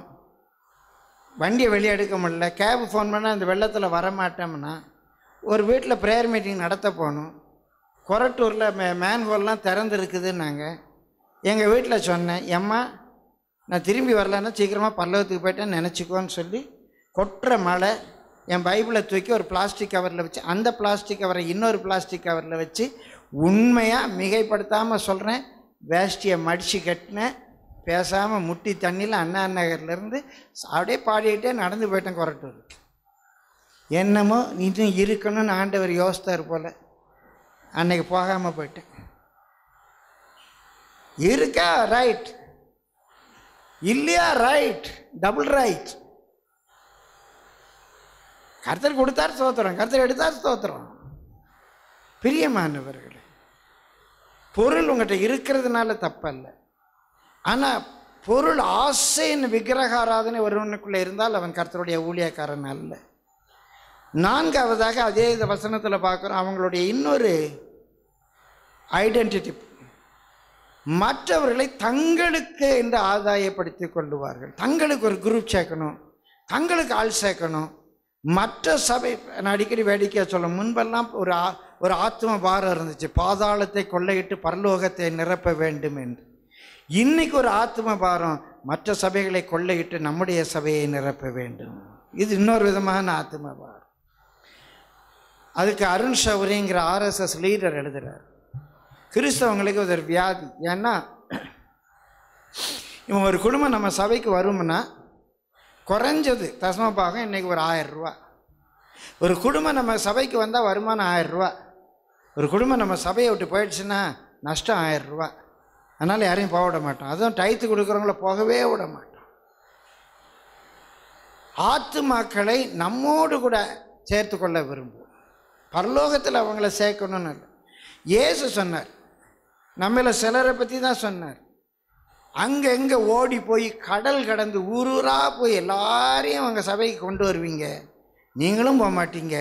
அவங்களையும் போக விட மாட்டீங்க. நம்மளை பற்றி தான் ஏசி சொல்லி நமக்கு ஆள் சேர்க்கணும். நம்ம கூட்டத்துக்கு ஆள் சேர்க்கணும்.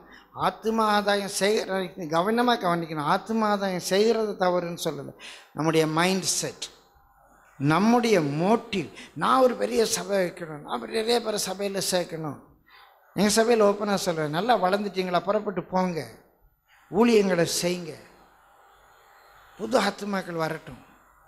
இன்னொரு சபையில் இருக்கவங்களை கூட்டு வரவே வராதுங்க. சமீபத்தில் ஒரு த- தம்பி எங்கள் அம்மா எங்கள் பாட்டிமா இந்த சபைக்கு போகிறாங்க உங்கள்கிட்ட ஞானஸ்தானம் எடுத்துக்க சொன்னாங்க நாங்கள் இல்லை உங்கள் பாட்டியை கூப்பிட்டு வந்துட்டேன். உங்கள் பாட்டிமா போகிற சபை உங்கள் அப்பா அம்மா போகிற சபையில் போய் ஞானஸ்தானம் எடு. அந்த பையனை நான் ஊக்கப்படுத்தி அனுப்புங்க இல்லை உங்கள் அம்மா என்கிட்ட வந்து பேசிச்சு. ஆத்மாக்களை பரலோகத்துக்கு சேர்க்கணும் நரகாக்கிரந்த பிடுங்கி எப்படியாவது நம்மளோட பரலோகத்துக்கு கொண்டு வரணும் என்ற ஒரு துடிப்பு இருக்கணுமே ஒழிய நமக்கென்று ஆத்மாக்களை ஆதாயப்படுத்த வேண்டும். நம்மோட இது ஏன் சொல் இது ஓன் சொல் இதெல்லாம் எங்கள் ஆத்மா இதெல்லாம் ஓ ஆத்மா நம்ம நம்ம ஆத்மாவே நம்ம காப்பாற்றிக்க முடியலை. ஊரில் இருக்க ஆத்மாவெல்லாம் ஏன் ஆத்மா ஏன் ஆத்மா ஏன் ஆத்மா மாரில் அடிச்சுக்கிட்டு.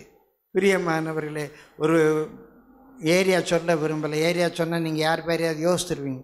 ஒரு ஏரியாவில் ஒரு பாஸ்டர் போய் சபை ஆரம்பித்தேன் நடந்த சம்பவம். உடனே அங்கேருந்து ஒரு ஊழியக்காரன் ஏய் இங்கே நான் சபை வச்சுருக்கேன். நீ எப்படி அங்கே வந்து சபை வைக்கலான்னு? ஏன் ஒரு கோயில் வச்சுருக்கான். ஒரு சாமி கோயில். இந்த தெருமனையில் அவன் ஒரு ச- கோயில் வச்சுருக்கான். அடுத்த தெருமனையில் இன்னொருத்தவங்கிட்ட ஒரு கோயிலை வைக்கான். அடிப்படையாக சண்டையாக போடுறாங்க. ஐயா அவங்ககிட்ட இருந்து ஒற்றுமையை கற்றுக்கணுங்க இவர் இவர் ஒன்று இது இந்திய தாய் திருநாடு எனக்கு உரிமை உண்டு உனக்கு உரிமை உண்டு சட்டம் பேசியிருக்கார் அப்படியாண்டு போயிட்டான். இந்த ஊழியக்காரர் சுமோவில் பத்து ரவுடிகளை கூப்பிட்டு வந்து அவருடைய ஒரு வீட்டு மேலே சர் சர் சர் சர்னு சுற்றி இருக்கு. ஓன்னு கத்துறது? இவர் ஃப்ரண்ட் சீட்டில் உட்காந்துருப்பாங்க நாலு தடவை அந்த ரவுடி சுற்றணும்னு இவர் கொட்டையை கிளப்பிட்டு வந்துட்டார். நமக்கு அந்த வம்புன்னு சிலது வந்து அந்த ஏரியாவை க- நோட் பண்ணுறதுக்காக அப்படியே இந்த சிறுநீர் கழிக்குமா. அந்த ஏரியாவுக்குள்ளே வேறு நாய் வந்துச்சுன்னு சொன்னால் குலைச்சி லொல்லுன்னு விரட்டும். அந்த ஏரியாவை தாண்டணும் ஆஹா அப்படின்னு விட்டுருவோம். அது அதுக்குள்ள சுபாவம். பிரியமானவர்களே நமக்கென்று ஆதா ஆத்மாக்களை ஆதாயப்படுத்தணும் நமக்கு ஆள் சேர்க்கணும் என்ற ஒரு ஸ்பிரிட் இருக்குமானால் அதை குறித்து ஜாக்கிரதையாக இருக்க வேண்டும். அந்த ஸ்பிரிட் நமக்குள்ளேயும் கிரியேட் செய்ய இடம் கொடுக்கக்கூடாது யாராக இருக்கட்டும் இயேசுவை பற்றி என்ன சொல்கிறாங்க பரலோகத்து வழி தானே காட்டுறாங்க. பரலோகத்துக்கு வாங்கன்னு தானே சொல்கிறாங்க ஜோம் பண்ணும் நான் பொதுவாக எனக்கு தனியாக ஜெபிக்கும் போது கூடியதும் எனக்கு தெரிந்த எல்லா சபைகளுக்காகவும் சொல்லி ஜெபிப்பேன். ஆண்டு அந்த ஊழியங்கள் எல்லாம் ஆசீர்வது அந்த ஊழியம் மூலமாக எவ்வளோ பேர் ரட்சிக்கணுமோ ரட்சியும் கொண்டு வராண்டவர் சபைகள் நிரம்பட்ட ஆத்மாக்கள் ஆத்துமாக்கள் நான் பெருமைக்காக சொல்ல பிரியமானவர்கள் பரலோகத்துக்கு ஆத்துமாக்கள் போய் சேரணும் பரலோகத்துக்கு ஆத்துமாக்கள் பேசுறார் இந்த கள்ள போருடைய ஒரு அடையாளம் தங்களுக்கென்று ஆத்துமாக்களை ஆதாயப்படுத்துவார்கள். வாசிங்க நான்காம் வசனத்திலிருந்து.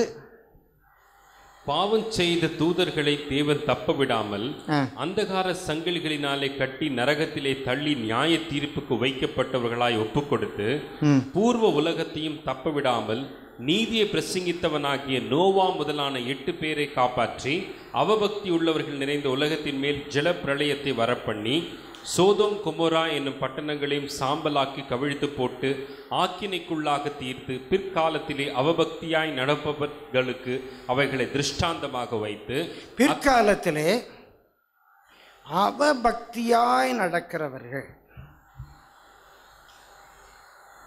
பிற்காலத்தில் கடைசி காலத்தில்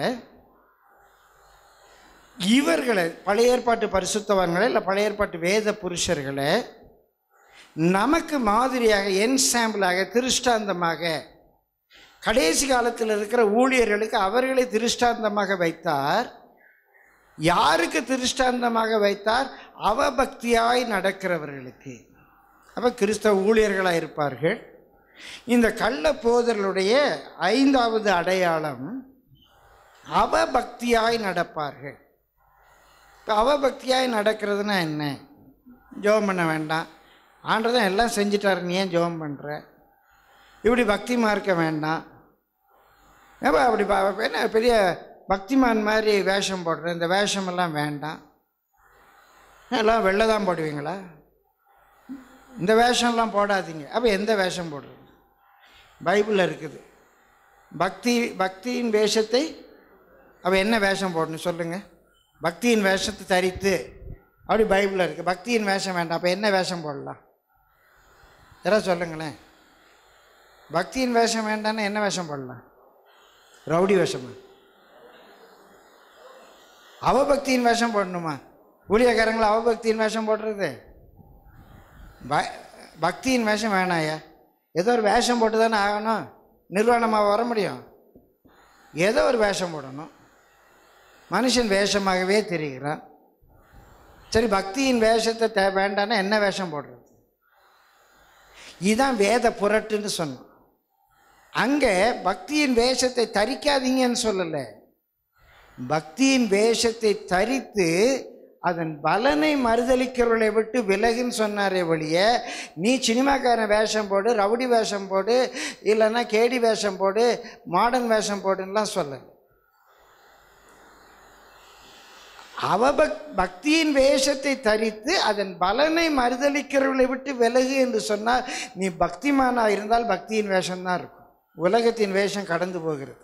உலகத்துக்கு ஒத்த வேஷம் தெரியாமல் உங்கள் மனம் புதிதாகிறதுனாலே மறு ரூபமாகுங்க உலகத்தில் ஜீன்ஸ் போட்டால் உடனே நான் ஜீன்ஸு உலகத்தில் அந்த முடியை வளர்த்தா உடனே நான் முடி வளர்க்கணும். உலகத்தில் ஒரு கம்மல் காதில் கம்மல் போட்டுக்கிட்டா நான் ஒரு காதில் கம்மல் போடணும். ஏன் போடுறோன்னே தெரியாது. ஒரு காதில் கம்மல் போடுறதுன்னா அந்த நாட்களில் மெயில் ப்ராஸ்டிடியூட் அவன் அவைலபிள் நான் ஆணுக்கும் அவைலபிள் பெண்ணுக்கும் அவைலபிள் காசு கொடுத்து என்னை கூப்பிட்டுக்கோங்க அப்படின்னு சொல்லக்கூடியவங்க ஒரு காதில் மட்டும் கம்மல் போட்டிருப்பாங்க. அப்படின்னா நமக்கு தெரியும் அவன் காசு கொடுத்தா வர்றான். அவனை நம்ம பயன்படுத்திக்கலாம் அப்படின்னு. அவன் காதில் கம்மல் போட்டானேன்னு எல்லாரும் போடாரு. ஏன்னா அந்த பையங்க அழகாக இருப்பாங்களாம். காதில் கம்மல் போட்டவன் அழகாக இருப்பான். அவன் தான் மேல் ப்ராஸ்டியூட்டாக இருக்க முடியும். சும்மா முரடமாக இருக்கவனை போய் மேல் ப்ராஸ்டியூட்டாக வச்சா எவனும் போக மாட்டான். அவன் பார்த்தா கொஞ்சம் பொம்பளை மாதிரி இருப்பான். உடனே அவன் காதில் கம்மல் போட்டனா அதை விரும்புகிறோம் அவனை கூப்பிடலாம் ஒத்த காதில் மாத்திரம் கம்மல் இல்லைன்னா ஆம்பளை ரெண்டு காதிலையும் போட்டானா அவன் பொம்பளை மாதிரி ஆயிடுவான். அதனால இவன் ஆம்பளை ஆனால் அவைலபிள் ஆம்பளை அப்படின்னு தெரியணும்னா ஒத்த காதில் கம்மல் போட்டுக்கணும். அவன்லாம் அழகாக இருப்பான்னு சொல்லி அவன் அவன் கம்மல் போட்டுக்கிட்டான். கம்மல் போட்டவன்லாம் அழகாக இருக்கான்னு அர்த்தம் இல்லை. இது காண மயிலாட கண்டிருந்த வான்கோழி. தெரியுமா? தானும் அதுவாக பாவித்து ஆமாம் அழகாக இருக்கிறதுக்காக மேம் கம்மல் போட்டோம்னு கம்மல் போட்டவன்லாம் அழகாக இருக்காமன்னா பைத்தியார்த்தணும் சரி உலகத்தில் போட்டு போகிறேன் ஒன்று நானும் போட்டுக்குவேன். நான் நான் அதில் எனக்கு தப்பாக தெரியலை. ஐயா பைபிளில் சொல்லியிருக்குது உலகத்துக்கு ஒத்த வேஷம் தெரியும். அது ஆணுக்கும் சரி பெண்ணுக்கும் சரி. அப்போ நம்ம என்ன வேஷம்தான் போட்டு ஆகணும்? பக்திமான் வேஷம்தான் போட்டு ஆகணும். பக்திமான் வேஷத்தை தரித்து அதன் பலனை மறுதளிக்கக்கூடாது. பக்திமானாக ஜீவிக்கணும். பக்திமான் என்பது ஒரு வேஷமாக இருக்கக்கூடாது. பிரியமானவர்களே கடைசி நாட்களில் இந்த பக்தி மார்க்கத்துக்கு மாறாக எப்படி வேண்டுமானாலும் வாழலாம் என்ற ஒரு கூட்டம் வரும். பழைய ஒரு நல்ல தமிழ் பாடல் உண்டு. பிரியமானவர்களே எங்கே இருந்தாலும் கருத்து நல்ல கருத்து என்றால் எடுப்பதிலே தவறில்லை. இப்படித்தான் வாழ வேண்டும். பொம்பளை இன்ப தமிழ் நாட்டிலே சிலர் இப்படித்தான் வாழ வேண்டும் என்ற கட்டுப்பாடோடு கூட உள்ளவர்கள் சிலர் எப்படி வேண்டுமானாலும் வாழலாம் என்ற நிலையிலே கட்டுப்பாடு அற்று இருப்பவர்கள். இப்படித்தான் உடுத்த வேண்டும் என்ற கட்டுப்பாடு உள்ளவர்கள் உண்டு. நான் எப்படி வேண்டுமானாலும் உடுத்தலாம் என்ற கட்டுப்பாடு இல்லாதவர்களும் உண்டு. பிரியமானவர்களே நம்ம பக்திமான்களாக இருக்கணும். பக்தியின் வேஷத்தை தான் தரிக்கணும். சினிமாக்காரன் வேஷம் ஓரின சேர்க்கைக்கு போகிறவன் வேஷம் அதெல்லாம் பைத்தியாரத்தனமாக நம்ம தரிக்க வேண்டியதில்லை. நான் தேவனுடைய பிள்ளைகள். நம்மை பார்க்கும்போதும் தேவனுடைய பிள்ளைகளாக தெரிய வேண்டும். சரி. ஆனால் இங்கே அவபக்தியாய் நடக்கிறவர்கள் என்று சொன்னது யார் என்றால் வேதத்தில் பல இடங்களில் வாசிக்கிறோம் ஒரு வசனத்தை சுட்டி காட்டுகிறேன். ரோமர் ஒன்றாம் அதிகாரம் பதினெட்டாம் வசனம் வாசிங்க ரோமர் ஒன்று பதினெட்டு சீக்கிரமாக எடுத்தவர்கள் வாசிங்க சத்தியத்தை அநியாயத்தினாலே அடக்கி வைக்கிற மனுஷருடைய எல்லாவித அவபக்திக்கும் அநியாயத்துக்கும் விரோதமாய் தேவ கோபம் வானத்திலிருந்து வெளிப்படுத்தப்பட்டிருக்கிறது. இங்கே அவபக்தி உள்ளவர்கள் என்று சொல்லுகிறவர்கள் சத்தியத்தை அறியாதவர்கள் அல்ல. தாங்கள் அறிந்த சத்தியத்தை அநியாயத்தினால் அடக்கி வைக்கிறவர்கள். அவங்க அவபக்தி உள்ளவர்கள். ஞானஸ்நானம் மூழ்கி எடுக்கணும்னு தெரியும். இதை சொன்னால் தங்களுக்குரிய மார்க்கெட் போயிடும். அதனால் சொல்ல மாட்டாங்க. தாங்க ஞானஸ்நானம் எடுப்பாங்க. தங்க பிள்ளைங்க ஞானஸ்நானம் எடுப்பாங்க. ஆனால் வெளியே சொல்ல மாட்டாங்க. ஏன்னா அவங்களுடைய வருமானம் அவங்களுடைய பாப்புலாரிட்டி போயிடும். ஞானஸ்நானத்தை பிரசங்கிக்கிறதுக்குன்னு ஒரு காலிங் ஞானஸ்நானத்தை பிரசங்கம் பண்ணாமல் இருக்கிறதுக்கு ஒரு காலிங் நகையை பற்றி பிரசங்கிக்கிறதுக்கு ஒரு காலிங் நகையை பற்றி பிரசங்கிக்காமல் இருக்கிறதுக்கு ஒரு காலிங்கன்னா பைபிளில் தனித்தனி காலிங்லாம் கிடையாது. சத்தியத்தை அநியாயத்தினால் அடக்கி வைக்கிற அவபக்தி உள்ளவர்கள். இவன் நகை போடுறது சரி அப்படின்னு ஒருத்தர் மனசில் தீர்மானம் பண்ணுறார் நகை போடுறது சரின்னு பிரசங்கிக்கிறார். அது தப்பே இல்லை. அவர் இருதயத்தில் தீர்மானித்தார் அவர் பிரசங்கிக்கிறார். நாளைக்கு அந்த சத்தியம் விளங்கும்போது அவர் அப்படியே தெரிந்த சத்தியத்துக்கு வைராக்கியம் பாராட்டுவோம் இங்கே யார் அவபக்தி உள்ளவர்கள் என்றால் நகை போட்டவங்க இல்லை. இவங்களுக்கு அது தப்புன்னு தெரியும். தப்புன்னு இவங்க கழட்டியிருப்பாங்க. ஆனால் தங்களுக்கு ஒரு மார்க்கெட் வேணும் அப்படிங்கிறனால அதை சொல்ல பயப்படுவாங்க. இப்போ நகை போட்டிருக்க சரியாக தவறா என்ற உபதேசத்துக்குள்ளே நான் வரல. அதை அநியாயத்தினாலே அடக்கி வைக்கிற அவபக்தி உள்ளவர். ஏதோ ஒரு நியாயத்துக்கு புறம்பான காரியத்தினாலே இதை வெளி நான் ஒரு நடந்த சம்பவத்தை சொல்கிறேன் அநேக ஆண்டுகளுக்கு முன் எயிட்டி நைன் நைன்டி அந்த பீரியட் இருக்கும். ஒரு திருமணத்தில் அப்போ தான் இந்த நகையெல்லாம் சபைக்குள்ளே வர ஆரம்பித்த புதிது. ஒரு திருமணத்துக்கு என்னை அழைத்திருந்தார்கள் பிரசங்கம் பண்ணுறதுக்கு பிரசங்கம் பண்ணி முடிச்சுட்டு உட்காந்து இந்த சும்மா இருந்த சங்க ஊதி கெடுத்தான்ட்டு ஆண்டின மாதிரி என் பக்கத்தில் அந்த திருமணத்தில் திருமணத்தை நடத்தி வைக்க வந்து ஒரு பெரிய ஊழியக்காரர். அப்போ தான் இந்த நகை வந்து பெந்தைகோச சபைக்குள்ளே அப்படி எட்டி பார்க்குற நேரம் ஆரம்ப நேரம். நாங்கள் ரெண்டு பேரும் சாப்பிடும்போது அவர் சொன்னார் இப்போல்லாம் அவங்க தாலி கட்டிக்கிறதா இருந்தால் நான் ஒன்றும் சொல்கிறது இல்லைன்னாரு முந்தைய ஒரு படம் உண்டு தாய்மகளுக்கு கட்டின தாலி அப்படின்னு. நான் கேட்டேன் ஏங்க தாய்மகளுக்கு கட்டின தாலின்னு சொல்லி ஸ்டேஜுக்கு பின்னால் போய் கட்டணும்? தப்பு இல்லைன்னா நம்மளே கட்டி கொடுக்கலாமேன்னு. எனக்கு தப்பாக தெரிலன்னு நீங்கள் ஆசீர்வச்சு கொடுப்பீங்களான்னு. நான் அதெல்லாம் செய்ய மாட்டேன். அவங்க விருப்பம்னா கட்டிக்கிட்டுன்னு விட்டுறேன்னு அக்காவுக்கு கட்டிட்டீங்க. என்னோடய மூத்த ஊழியக்காரர் குடும்பமாக எங்களுக்கு தெரியும். அக்காவுக்கு கட்டிட்டீங்களான்னு. சீ அப்படின்னார். எனக்கு சுரீர்னு ஆயிட்டு. ஏன்னா எங்கள் ஊரில் அவர் எங்கள் ஊரை சேர்ந்தவர் எங்கள் ஊரில் சீ என்றால் மனித கழிவை சீன்னு சொல்லுவோம். நான் உடனே கேட்டேன் உங்களுக்கு சீ. உங்கள் பெண்டாட்டிக்கு சீ. உங்கள் பிள்ளைக்கு சீ. அந்த சீ எடுத்து நமக்கு வாக்கரிசி போடுறானே. அவன் கழுத்துலையும் காதுலையும் பூசிட்டா கூட நம்ம சொல்ல மாட்டோமான்னு.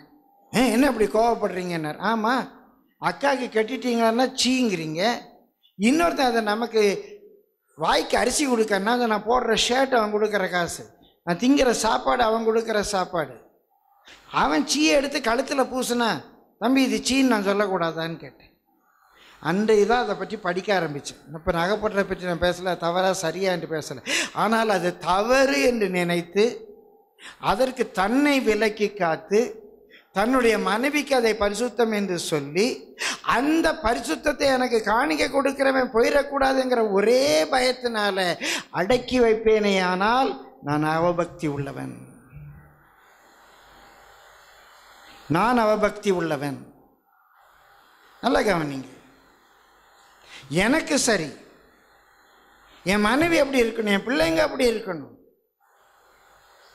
ஆனால் இதை நான் மற்றவங்களுக்கு சொல்ல மாட்டேன். பவுல் சொல்கிறார் பிரயோஜனமானவைகளை ஒன்றையும் நான் மறையா மறைக்காமல். அந்த ஊழியக்காரர் சொன்ன மாதிரி நானும் மைக்கு இருந்தால் மட்டும் கூட போதும். பிரயோஜனமானவைகளை ஒன்றையும் மறைக்காமல் யார் யார் இடறிடுவாங்க சபையை விட்டு போயிடுவாங்க இதை சொன்னால் அவன் காணிக்க தரமாட்டான் தசமபாகம் தரமாட்டான்னு சொன்னோன்னு சொன்னான் அப்படி பயந்து பயந்து போதித்தோமானா நம்ம தான் கள்ளப்போதவர்கள் என்னையும் சேர்த்து நம்மையும் சேர்த்து சொல்லுகிறேன். அந்த ஆவிக்கு உங்களை விலக்கி காத்து கொள்ளுங்கள். நீங்கள் அறிந்த சத்தியத்தை அன்போடு சொல்லிக் கொடுங்க. எது நீங்கள் சத்தியம்னு நினைக்கிறீங்களோ அதை மற்றவங்களுக்கு சொல்லிக் கொடுங்க. அந்த சத்தியத்தை கேட்குறதுக்கு தான் அவங்க நம்மகிட்ட வர்றாங்க. அதுக்கு தான் நமக்கு பைசா கொடுக்குறாங்க. அவங்ககிட்ட காசை வாங்கிட்டு நம்ம சத்தியத்தை மறைக்கக்கூடாது. சத்தியத்தை மறைக்கிறது அவபக்தி. வேதத்தில் வாசிக்கிற இன்னொரு வசனம் கூட வாசித்து கடந்து போவோம். தீத்து ஒன்று மூன்று வாசியுங்கள் பொய்யுரையாத தேவன் ஆதிகாலம் முதல் நித்திய ஜீவனை குறித்து வாக்குதத்தம் பண்ணி அதை குறித்து நம்பிக்கையை பற்றிய தேவ பக்திக்கேதுவான சத்தியத்தை அறிகிற அறிவும் விசுவாசமும் தேவனால் தெரிந்து கொள்ளப்பட்டவர்களுக்கு உண்டாகும்படி. நமக்கு என்ன உண்டாகணுமா? சத்தியத்தை. என்ன சத்தியம்?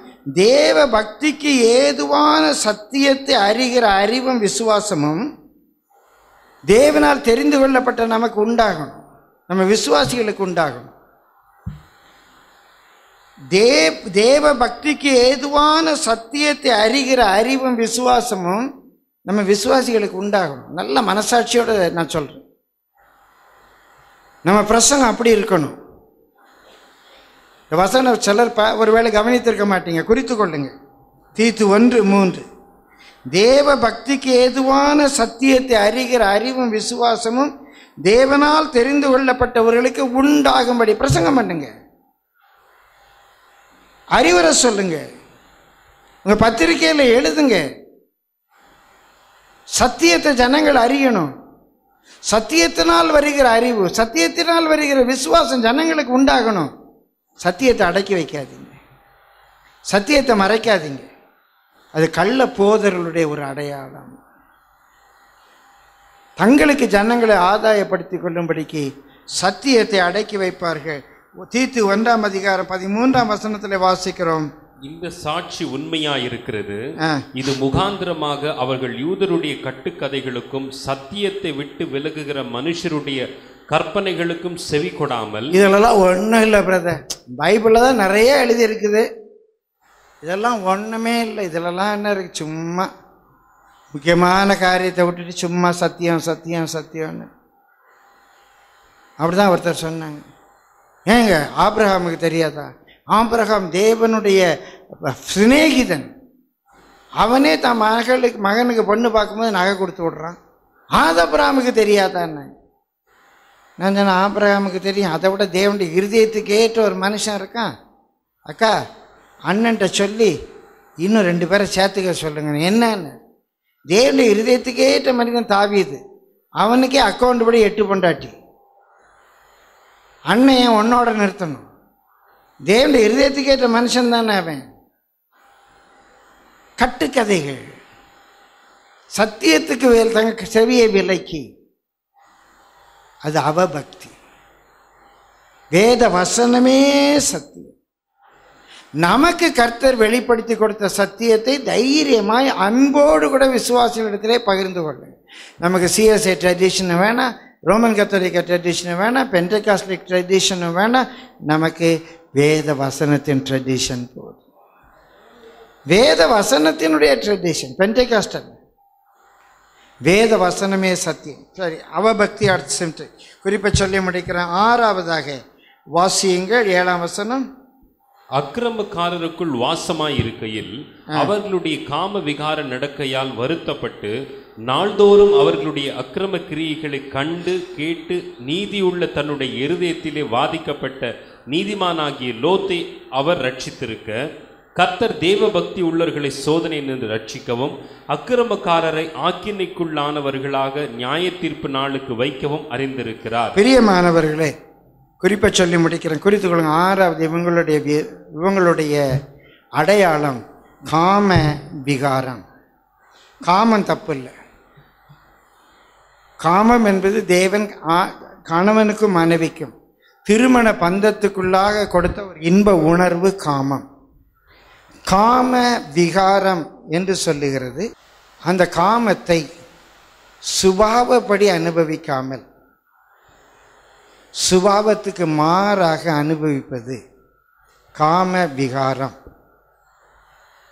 பிரியமானவர்களே ஆண்களும் பெண்களும் திருமண பந்தத்துக்குள்ளாக அனுபவிக்க வேண்டிய ஒரு இன்ப உணர்வை இயற்கையின் தேவ நியதிக்கு உட்பட்டு அனுபவிக்க வேண்டிய உணர்வை விகாரமாக அந்த பந்தத்துக்கு வெளியே அதெல்லாம் ஒன்றும் தப்பில்லை. பாய்ஸ் அண்ட் கேர்ள்ஸ் விளையாடுறது தப்பில்லை. பாய்ஸ் அண்ட் கேர்ள்ஸு சேர்ந்த ஆக்டிவிட்டி பாய்ஸ் அண்ட் கேர்ள்ஸுக்கு லவ்வர்ஸ் டே வைக்கிறது.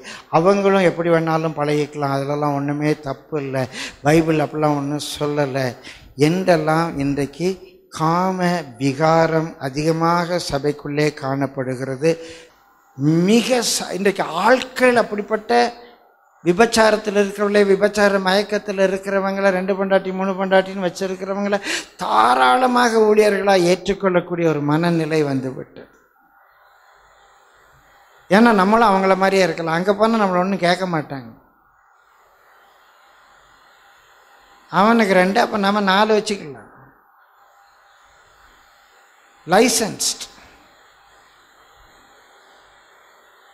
கள்ள போதர்கள் என்று சொன்னால் அவங்களுடைய அடையாளத்தில் ஒன்று அங்கே காம விகாரம் காணப்படும்.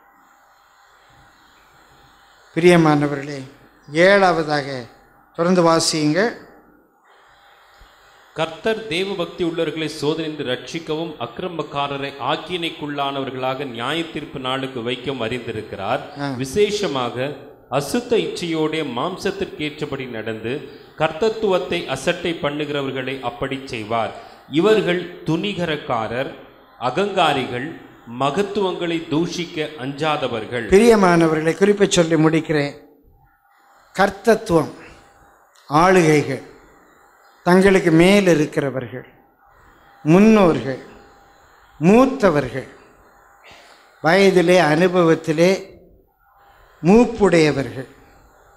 அவங்கள மதிக்க மாட்டாங்க. தங்களுக்கு தான் எல்லாம் தெரியும்னு நினைப்பாங்க. தங்களுக்கு மேலே தேவன் கொடுத்துருக்கிற ஊழியக்காரரை கீழ்ப்படிய மாட்டாங்க. செல்ஃப் ஸ்டைல்டாக இருப்பாங்க.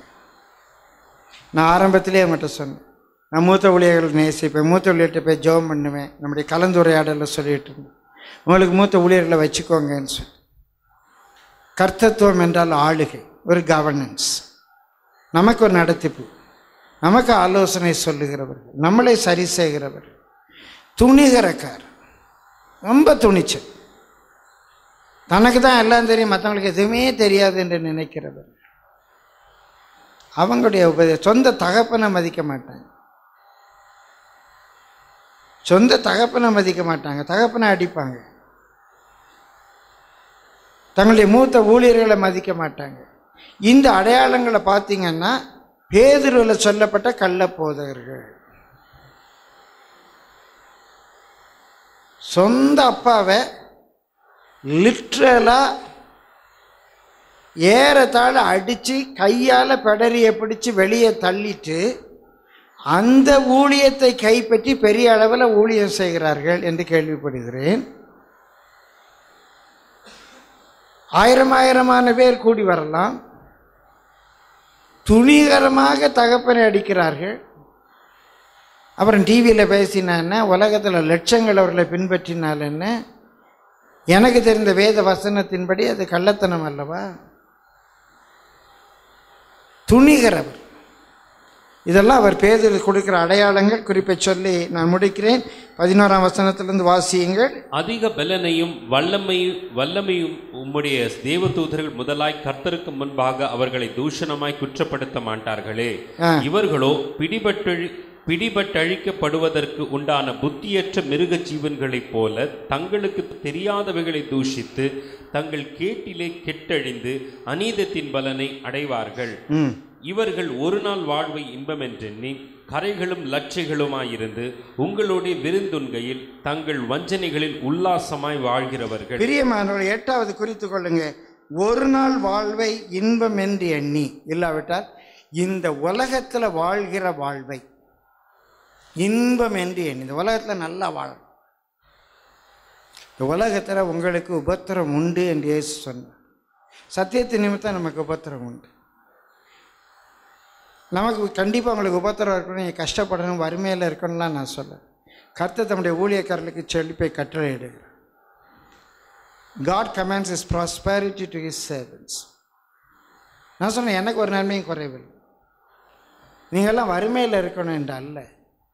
ஆனால் எண்ணம் மனம் எல்லாம் பரலோகத்துக்கு போகணும் பரலோகத்துக்கு போகணும் பரலோகத்துக்கு போகணும் பரலோகத்துக்கு போகணும்னு இருக்கும். இந்த உலகத்தில் நல்லா இருக்கணும் இந்த உலகத்தில் இன்னும் பொருள் சேர்க்கணும் இந்த உலகத்தில் நல்ல வீடு வாசல் கட்டணும் இன்னும் அங்கே ஒரு நிலம் வாங்கி போடணும் இங்கே ஒரு நிலம் வாங்கி போடணும் இந்த உலகத்தில் சொத்து சேர்க்கணும் முதலே பொருளாசையை பற்றி சொன்னேன். இந்த உலகத்தில் வாழ்கிறதை குறித்து அவருடைய அட்டென்ஷன் இருந்து அவன் போதகம் செய்வானேயானால் அவன் பரலோகத்தை குறித்து பேசுவானேயானால் அவன் கள்ள போதகம் அவனுக்கே பரலோகத்துக்கு போகிற ஆசை இல்லை. அவனுக்கே பரலோகத்துக்கு போகிற எண்ணம் இல்லை. இந்த உலகத்தில் வாழணும் உலகத்தில் வாழணும் உலகத்தில் வாழணும்னு ஆசை. செத்து போகிறோன்னா பயப்படுறான்.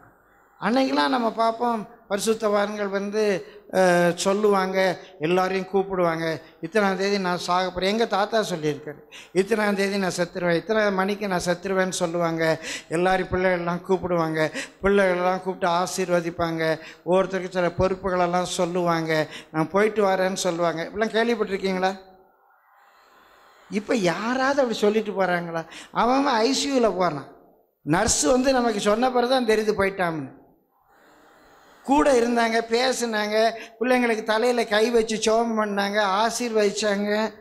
இதெல்லாம் வந்து அந்த சங்க இலக்கியம் மாதிரி இருக்குது இப்போ நமக்கு. இப்படிலாம் நடந்துச்சா? நீ சாவுன்னா அவன் பயப்படுறான். சும்மா பிரசங்கத்தில் தான் நான் பல்லோகத்துக்கு போவேன் பல்லோகத்துக்கு போனால் பிறகு ஐசிக்கு போகணும் ட்ரீட்மெண்ட் தப்புன்னு சொல்லலை நான் ட்ரீட்மெண்ட் எடுக்க மாட்டேன்னு சொல்லலை. ஆனால் சாவுக்கு பயப்படுறது பிரியமானவர்களே இந்த உலகத்தில் வாழணும்னு விரும்புகிறது கள்ள போதருடைய ஒரு அடையாளம். நல்ல போதர்னா பரலோகத்தை பற்றியே பேசுவாங்க பரலோகத்துக்கு ஆயத்தப்படுவாங்க அவங்களும் பரலோகத்துக்கு ஆயத்தமாக இருப்பாங்க ஒரு அருமையான பழைய பாடல் உண்டு. பாஸ்டர் சுந்தர சாம்சன் ஐயாவுடைய மரணத்தில் விக்டர் சுவாமிதாசன் அந்த பாடலை நினைவுபடுத்தினார்கள். தமிழில் அந்த பாடலுடைய கருத்தில் ஒரு பாட்டு உண்டு. நீ அங்கே இருப்பாயோ நீ அங்கே இருப்பாயோ நான் அங்கே இருப்பேனே என்ற ஒரு பாட்டு உண்டு. அது ஆங்கிலத்தில் உள்ள ஒரு பாடல். I would be the I am on the way you will be the நான் அங்கே இருப்பேன். நீ வழியில் இருக்கிற நீ ஒரு நாள் அங்கே இருப்ப நான் தைரியமாக எங்கள் சபையில் அடிக்கடி சொல்லியிருக்கேன். ஒரே ஒரு தீர்க்க தரிசனம் பயமில்லாமல் சொல்லலாம். நீ சாகவே சாவாய். கண்டிப்பாக சாவம் இல்லை. பிரியமானவர்களே இந்த பரலோக சிந்தை இல்லாமல் இந்த உலகத்தில் வாழ்கிறத அதுக்கு செட்டப் உண்டாக்குறது அதுக்கு எல்லாத்தையும் ரெடி பண்ணுறது அதுக்கு சொத்து சத்து வைக்கிறது பிரியமானவர்கள் அந்த மைண்ட் செட் இருந்தால் நம்ம பரலோக ஊழியர்களாக இருக்க முடியாது. இட்ஸ் ஸ்மால் சிம்பிள் லாஜிக் அது மாத்திரமல்ல பிரியமானவர்கள் அங்கே எழுதியிருக்கிறது தங்கள் வஞ்சனைகளில் உல்லாசமாய் வாழ்கிறவர்கள். இந்த உல்லாசமாய் வாழ்கிறவர்கள் என்பது இங்கிலீஷ் பைபிளில் பார்த்தீங்கன்னா sporting sporting themselves with அது மூல பாஷையில் டு லிவ் இன் லக்ஸரி அந்த கிரேக்க சொல் என்ட்ருஃபா என்ட்ருஃபா என்றால் டு லிவ் இன் லக்ஸரி இந்த கள்ள போதர்களுக்கு கள்ள தீர்க்கதரிசிகளுக்குள்ள ஒரு அடையாளம் அவங்க லைஃப் ஸ்டைல் வந்து லக்ஸரியை பேஸ் பண்ணிடு ரொம்ப சொகுசு வாழ்க்கையை பேஸ் பண்ணி சொகுசு வாழ்க்கை தப்பு இல்லை ஆனால் வாழ்க்கையே சொகுசாக இருக்கணுங்கிறது தப்பு. பிரியமானவர்களை குறிப்பை சொல்லி முடிக்கிறேன். பதினான்காம் வசனத்திலிருந்து வாசியுங்கள். விபச்சார மயக்கத்தால் நிறைந்தவைகளும் கடைசி குறிப்பு பாவத்தை விட்டோயாதவைகளுமாய் இருக்கிற கண்களை உடையவர்கள் உறுதியில்லாத ஆத்துமாக்களை தந்திரமாய் பிடித்து உறுதி இல்லாத ஆத்துமாக்களை தந்திரமாய் பிடித்து பொருளாசைகளில் பழகின இருதயத்தை உடைய சாபத்தின் பிள்ளைகள். செம்மையான வழியை விட்டு தப்பி நடந்து பேயோரின் குமாரனாகிய பீலையாமின் வழியை பின்பற்றி போனவர்கள் அவன் அநீதத்தின் கூலியை விரும்பி தன்னுடைய அக்கிரமத்து நிமித்தம் கடிந்து கொள்ளப்பட்டான். பேசாத மிருகம் மனுஷரை பேச்சை பேசி தீர் மனுஷர் மனுஷர் பேச்சை பேசி தீர்க்கதரிசியினுடைய மதிக்கேட்டை தடுத்தது. இவர்கள் தண்ணீர் இல்லாத கிணறுகளும் சுழல் காற்றினால் அடியுண்டோடு இருக்கிற மேகங்களுமாய் இருக்கிறார்கள். என்றென்றைக்கும் உள்ள காரிருளே இவர்களுக்கு வைக்கப்பட்டிருக்கிறது. வஞ்சகமாய் நடக்கிறவர்களிடத்திலிருந்து அரிதாய் தப்பினவர்களிடத்தில் இவர்கள் அகந்தையான வீண் வார்த்தைகளை பேசி அகந்தையான வீண் வார்த்தைகளை பேசி மாம்ச இச்சைகளினாலும் மாம்ச இச்சைகளினாலும் காம விகாரங்களினாலும் காம விகாரங்களினாலும் அவர்களை தந்திரமாய் பிடிக்கிறார்கள். அவர்களை தந்திரமாய் பிடிக்கிறார்கள். பிரியமானவர்களே மாம்ச இச்சைக்கேற்ற நல்ல பெரிய காரியங்களை ரொம்ப ஃபிலாசபிக்கா ரொம்ப மேனேஜ்மெண்ட் சயின்ஸ் மாதிரி ரொம்ப ஒரு ப்ராஸ்பரிட்டி தியரி ஒரு புதுசு அப்படி கவர்ச்சி எல்லாம் கவரக்கூடிய நல்ல வார்த்தைகள். பிரியமான மூல பாஷையில் speak great swelling words swelling words of vanity இருக்குது அபவுட் த ஒரு மொழிபெயர்ப்பில் இருக்குது brag loud about their stupid nonsense contemporary English வேர்ஷனில் their brag brag out loud about their stupid nonsense இருக்குது இது மூல பாஷையில் குப்ரகோஸ் அதான் நம்ம கொக்கரக்கோன்னு சொல்கிறோம் போல். கிரேக்க மொழியில் ஹுப்ரகோஸ் என்று இருக்கு இந்த ஹுப்ரகோஸுங்கிறதுல இருந்தால் நம்ம ஆங்கிலத்தில் ஹைப்பர். ரொம்ப ஹைப்பராக இருக்காண்டா ரொம்ப ஹைப்பராக பேசி. அப்படியே ஜனங்களை கவர் பண்ணி. பிரியமான இதை நீ விலைக்கு சொல்கிற ஒரே ஒரு வசனத்தை வாசித்து முடிக்கிறேன்.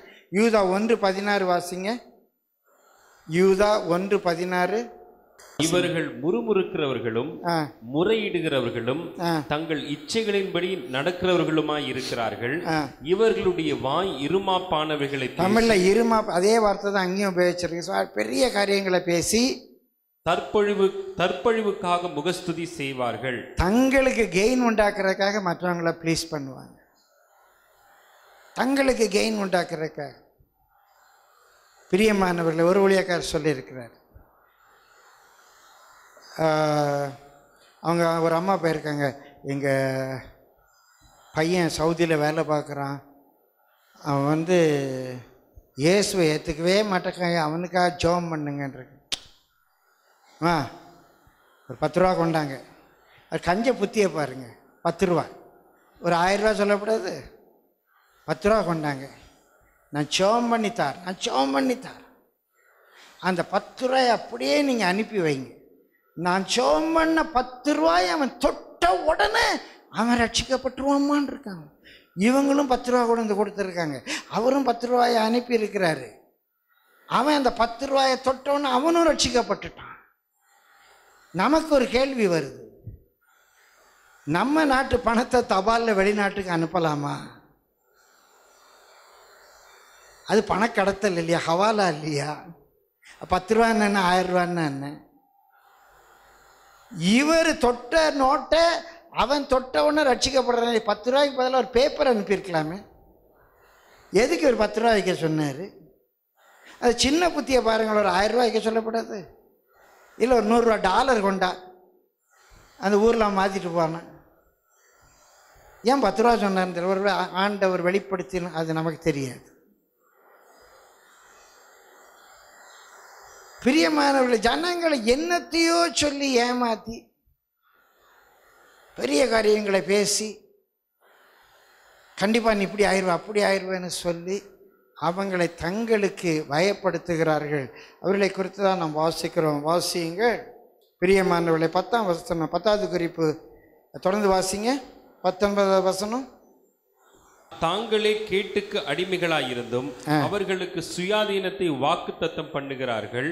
எதினாலே ஒருவன் ஜெயிக்கப்பட்டிருக்கிறானோ அதற்கு அவன் அடிமைப்பட்டிருக்கிறானே. பெரிய பெரிய காரியங்களெல்லாம் சொல்லுவாங்க. ஜோசியம் சொல்லுவாங்க. ஒரு ஜோசியக்காரன் உட்காந்துருந்தாங்க அதெல்லாம் வந்து ஜோசியம் பார்க்கும்போது நீ இப்படி ஆயிரம் அப்படி ஆயிரம் எல்லாம் சொல்லியிருக்காங்க. உடனே ஒருத்தன் கேட்டாண்ணா டேய் உன் கையை பார்த்துட்டு சொல்லட்டா இன்னைக்கு நீ என்ன ஆவேன்னு கேட்டான் இல்லையா என்ன அப்படின்னாங்க இல்லை உனக்கு ஏதாவது லக்கிடிப்பு அடிக்குமா? அடிக்காதான்னு பார்த்துட்டு சொன்னான். எனக்கு லக்கிடிப்பு அடிக்க போதுண்ணா. போடா பேச்சக்கார அப்பயுமே உன் பர்ஸை திருடிட்டேன்டான்ட்டு இவன் போயிட்டான் மற்றவங்களுக்கு நிறைய வாக்கு தத்தங்கள்லாம் கொடுப்பாங்க. நான் ஜெபிச்சா இப்படி ஆயிரும் நான் ஜெபிச்சா அப்படி ஆயிரும்லாம் சொல்லுவாங்க. நீ ஜெபிச்சு நீ இப்படி ஆக. ஒன்றே ஒன்று ஆயிருக்காங்க.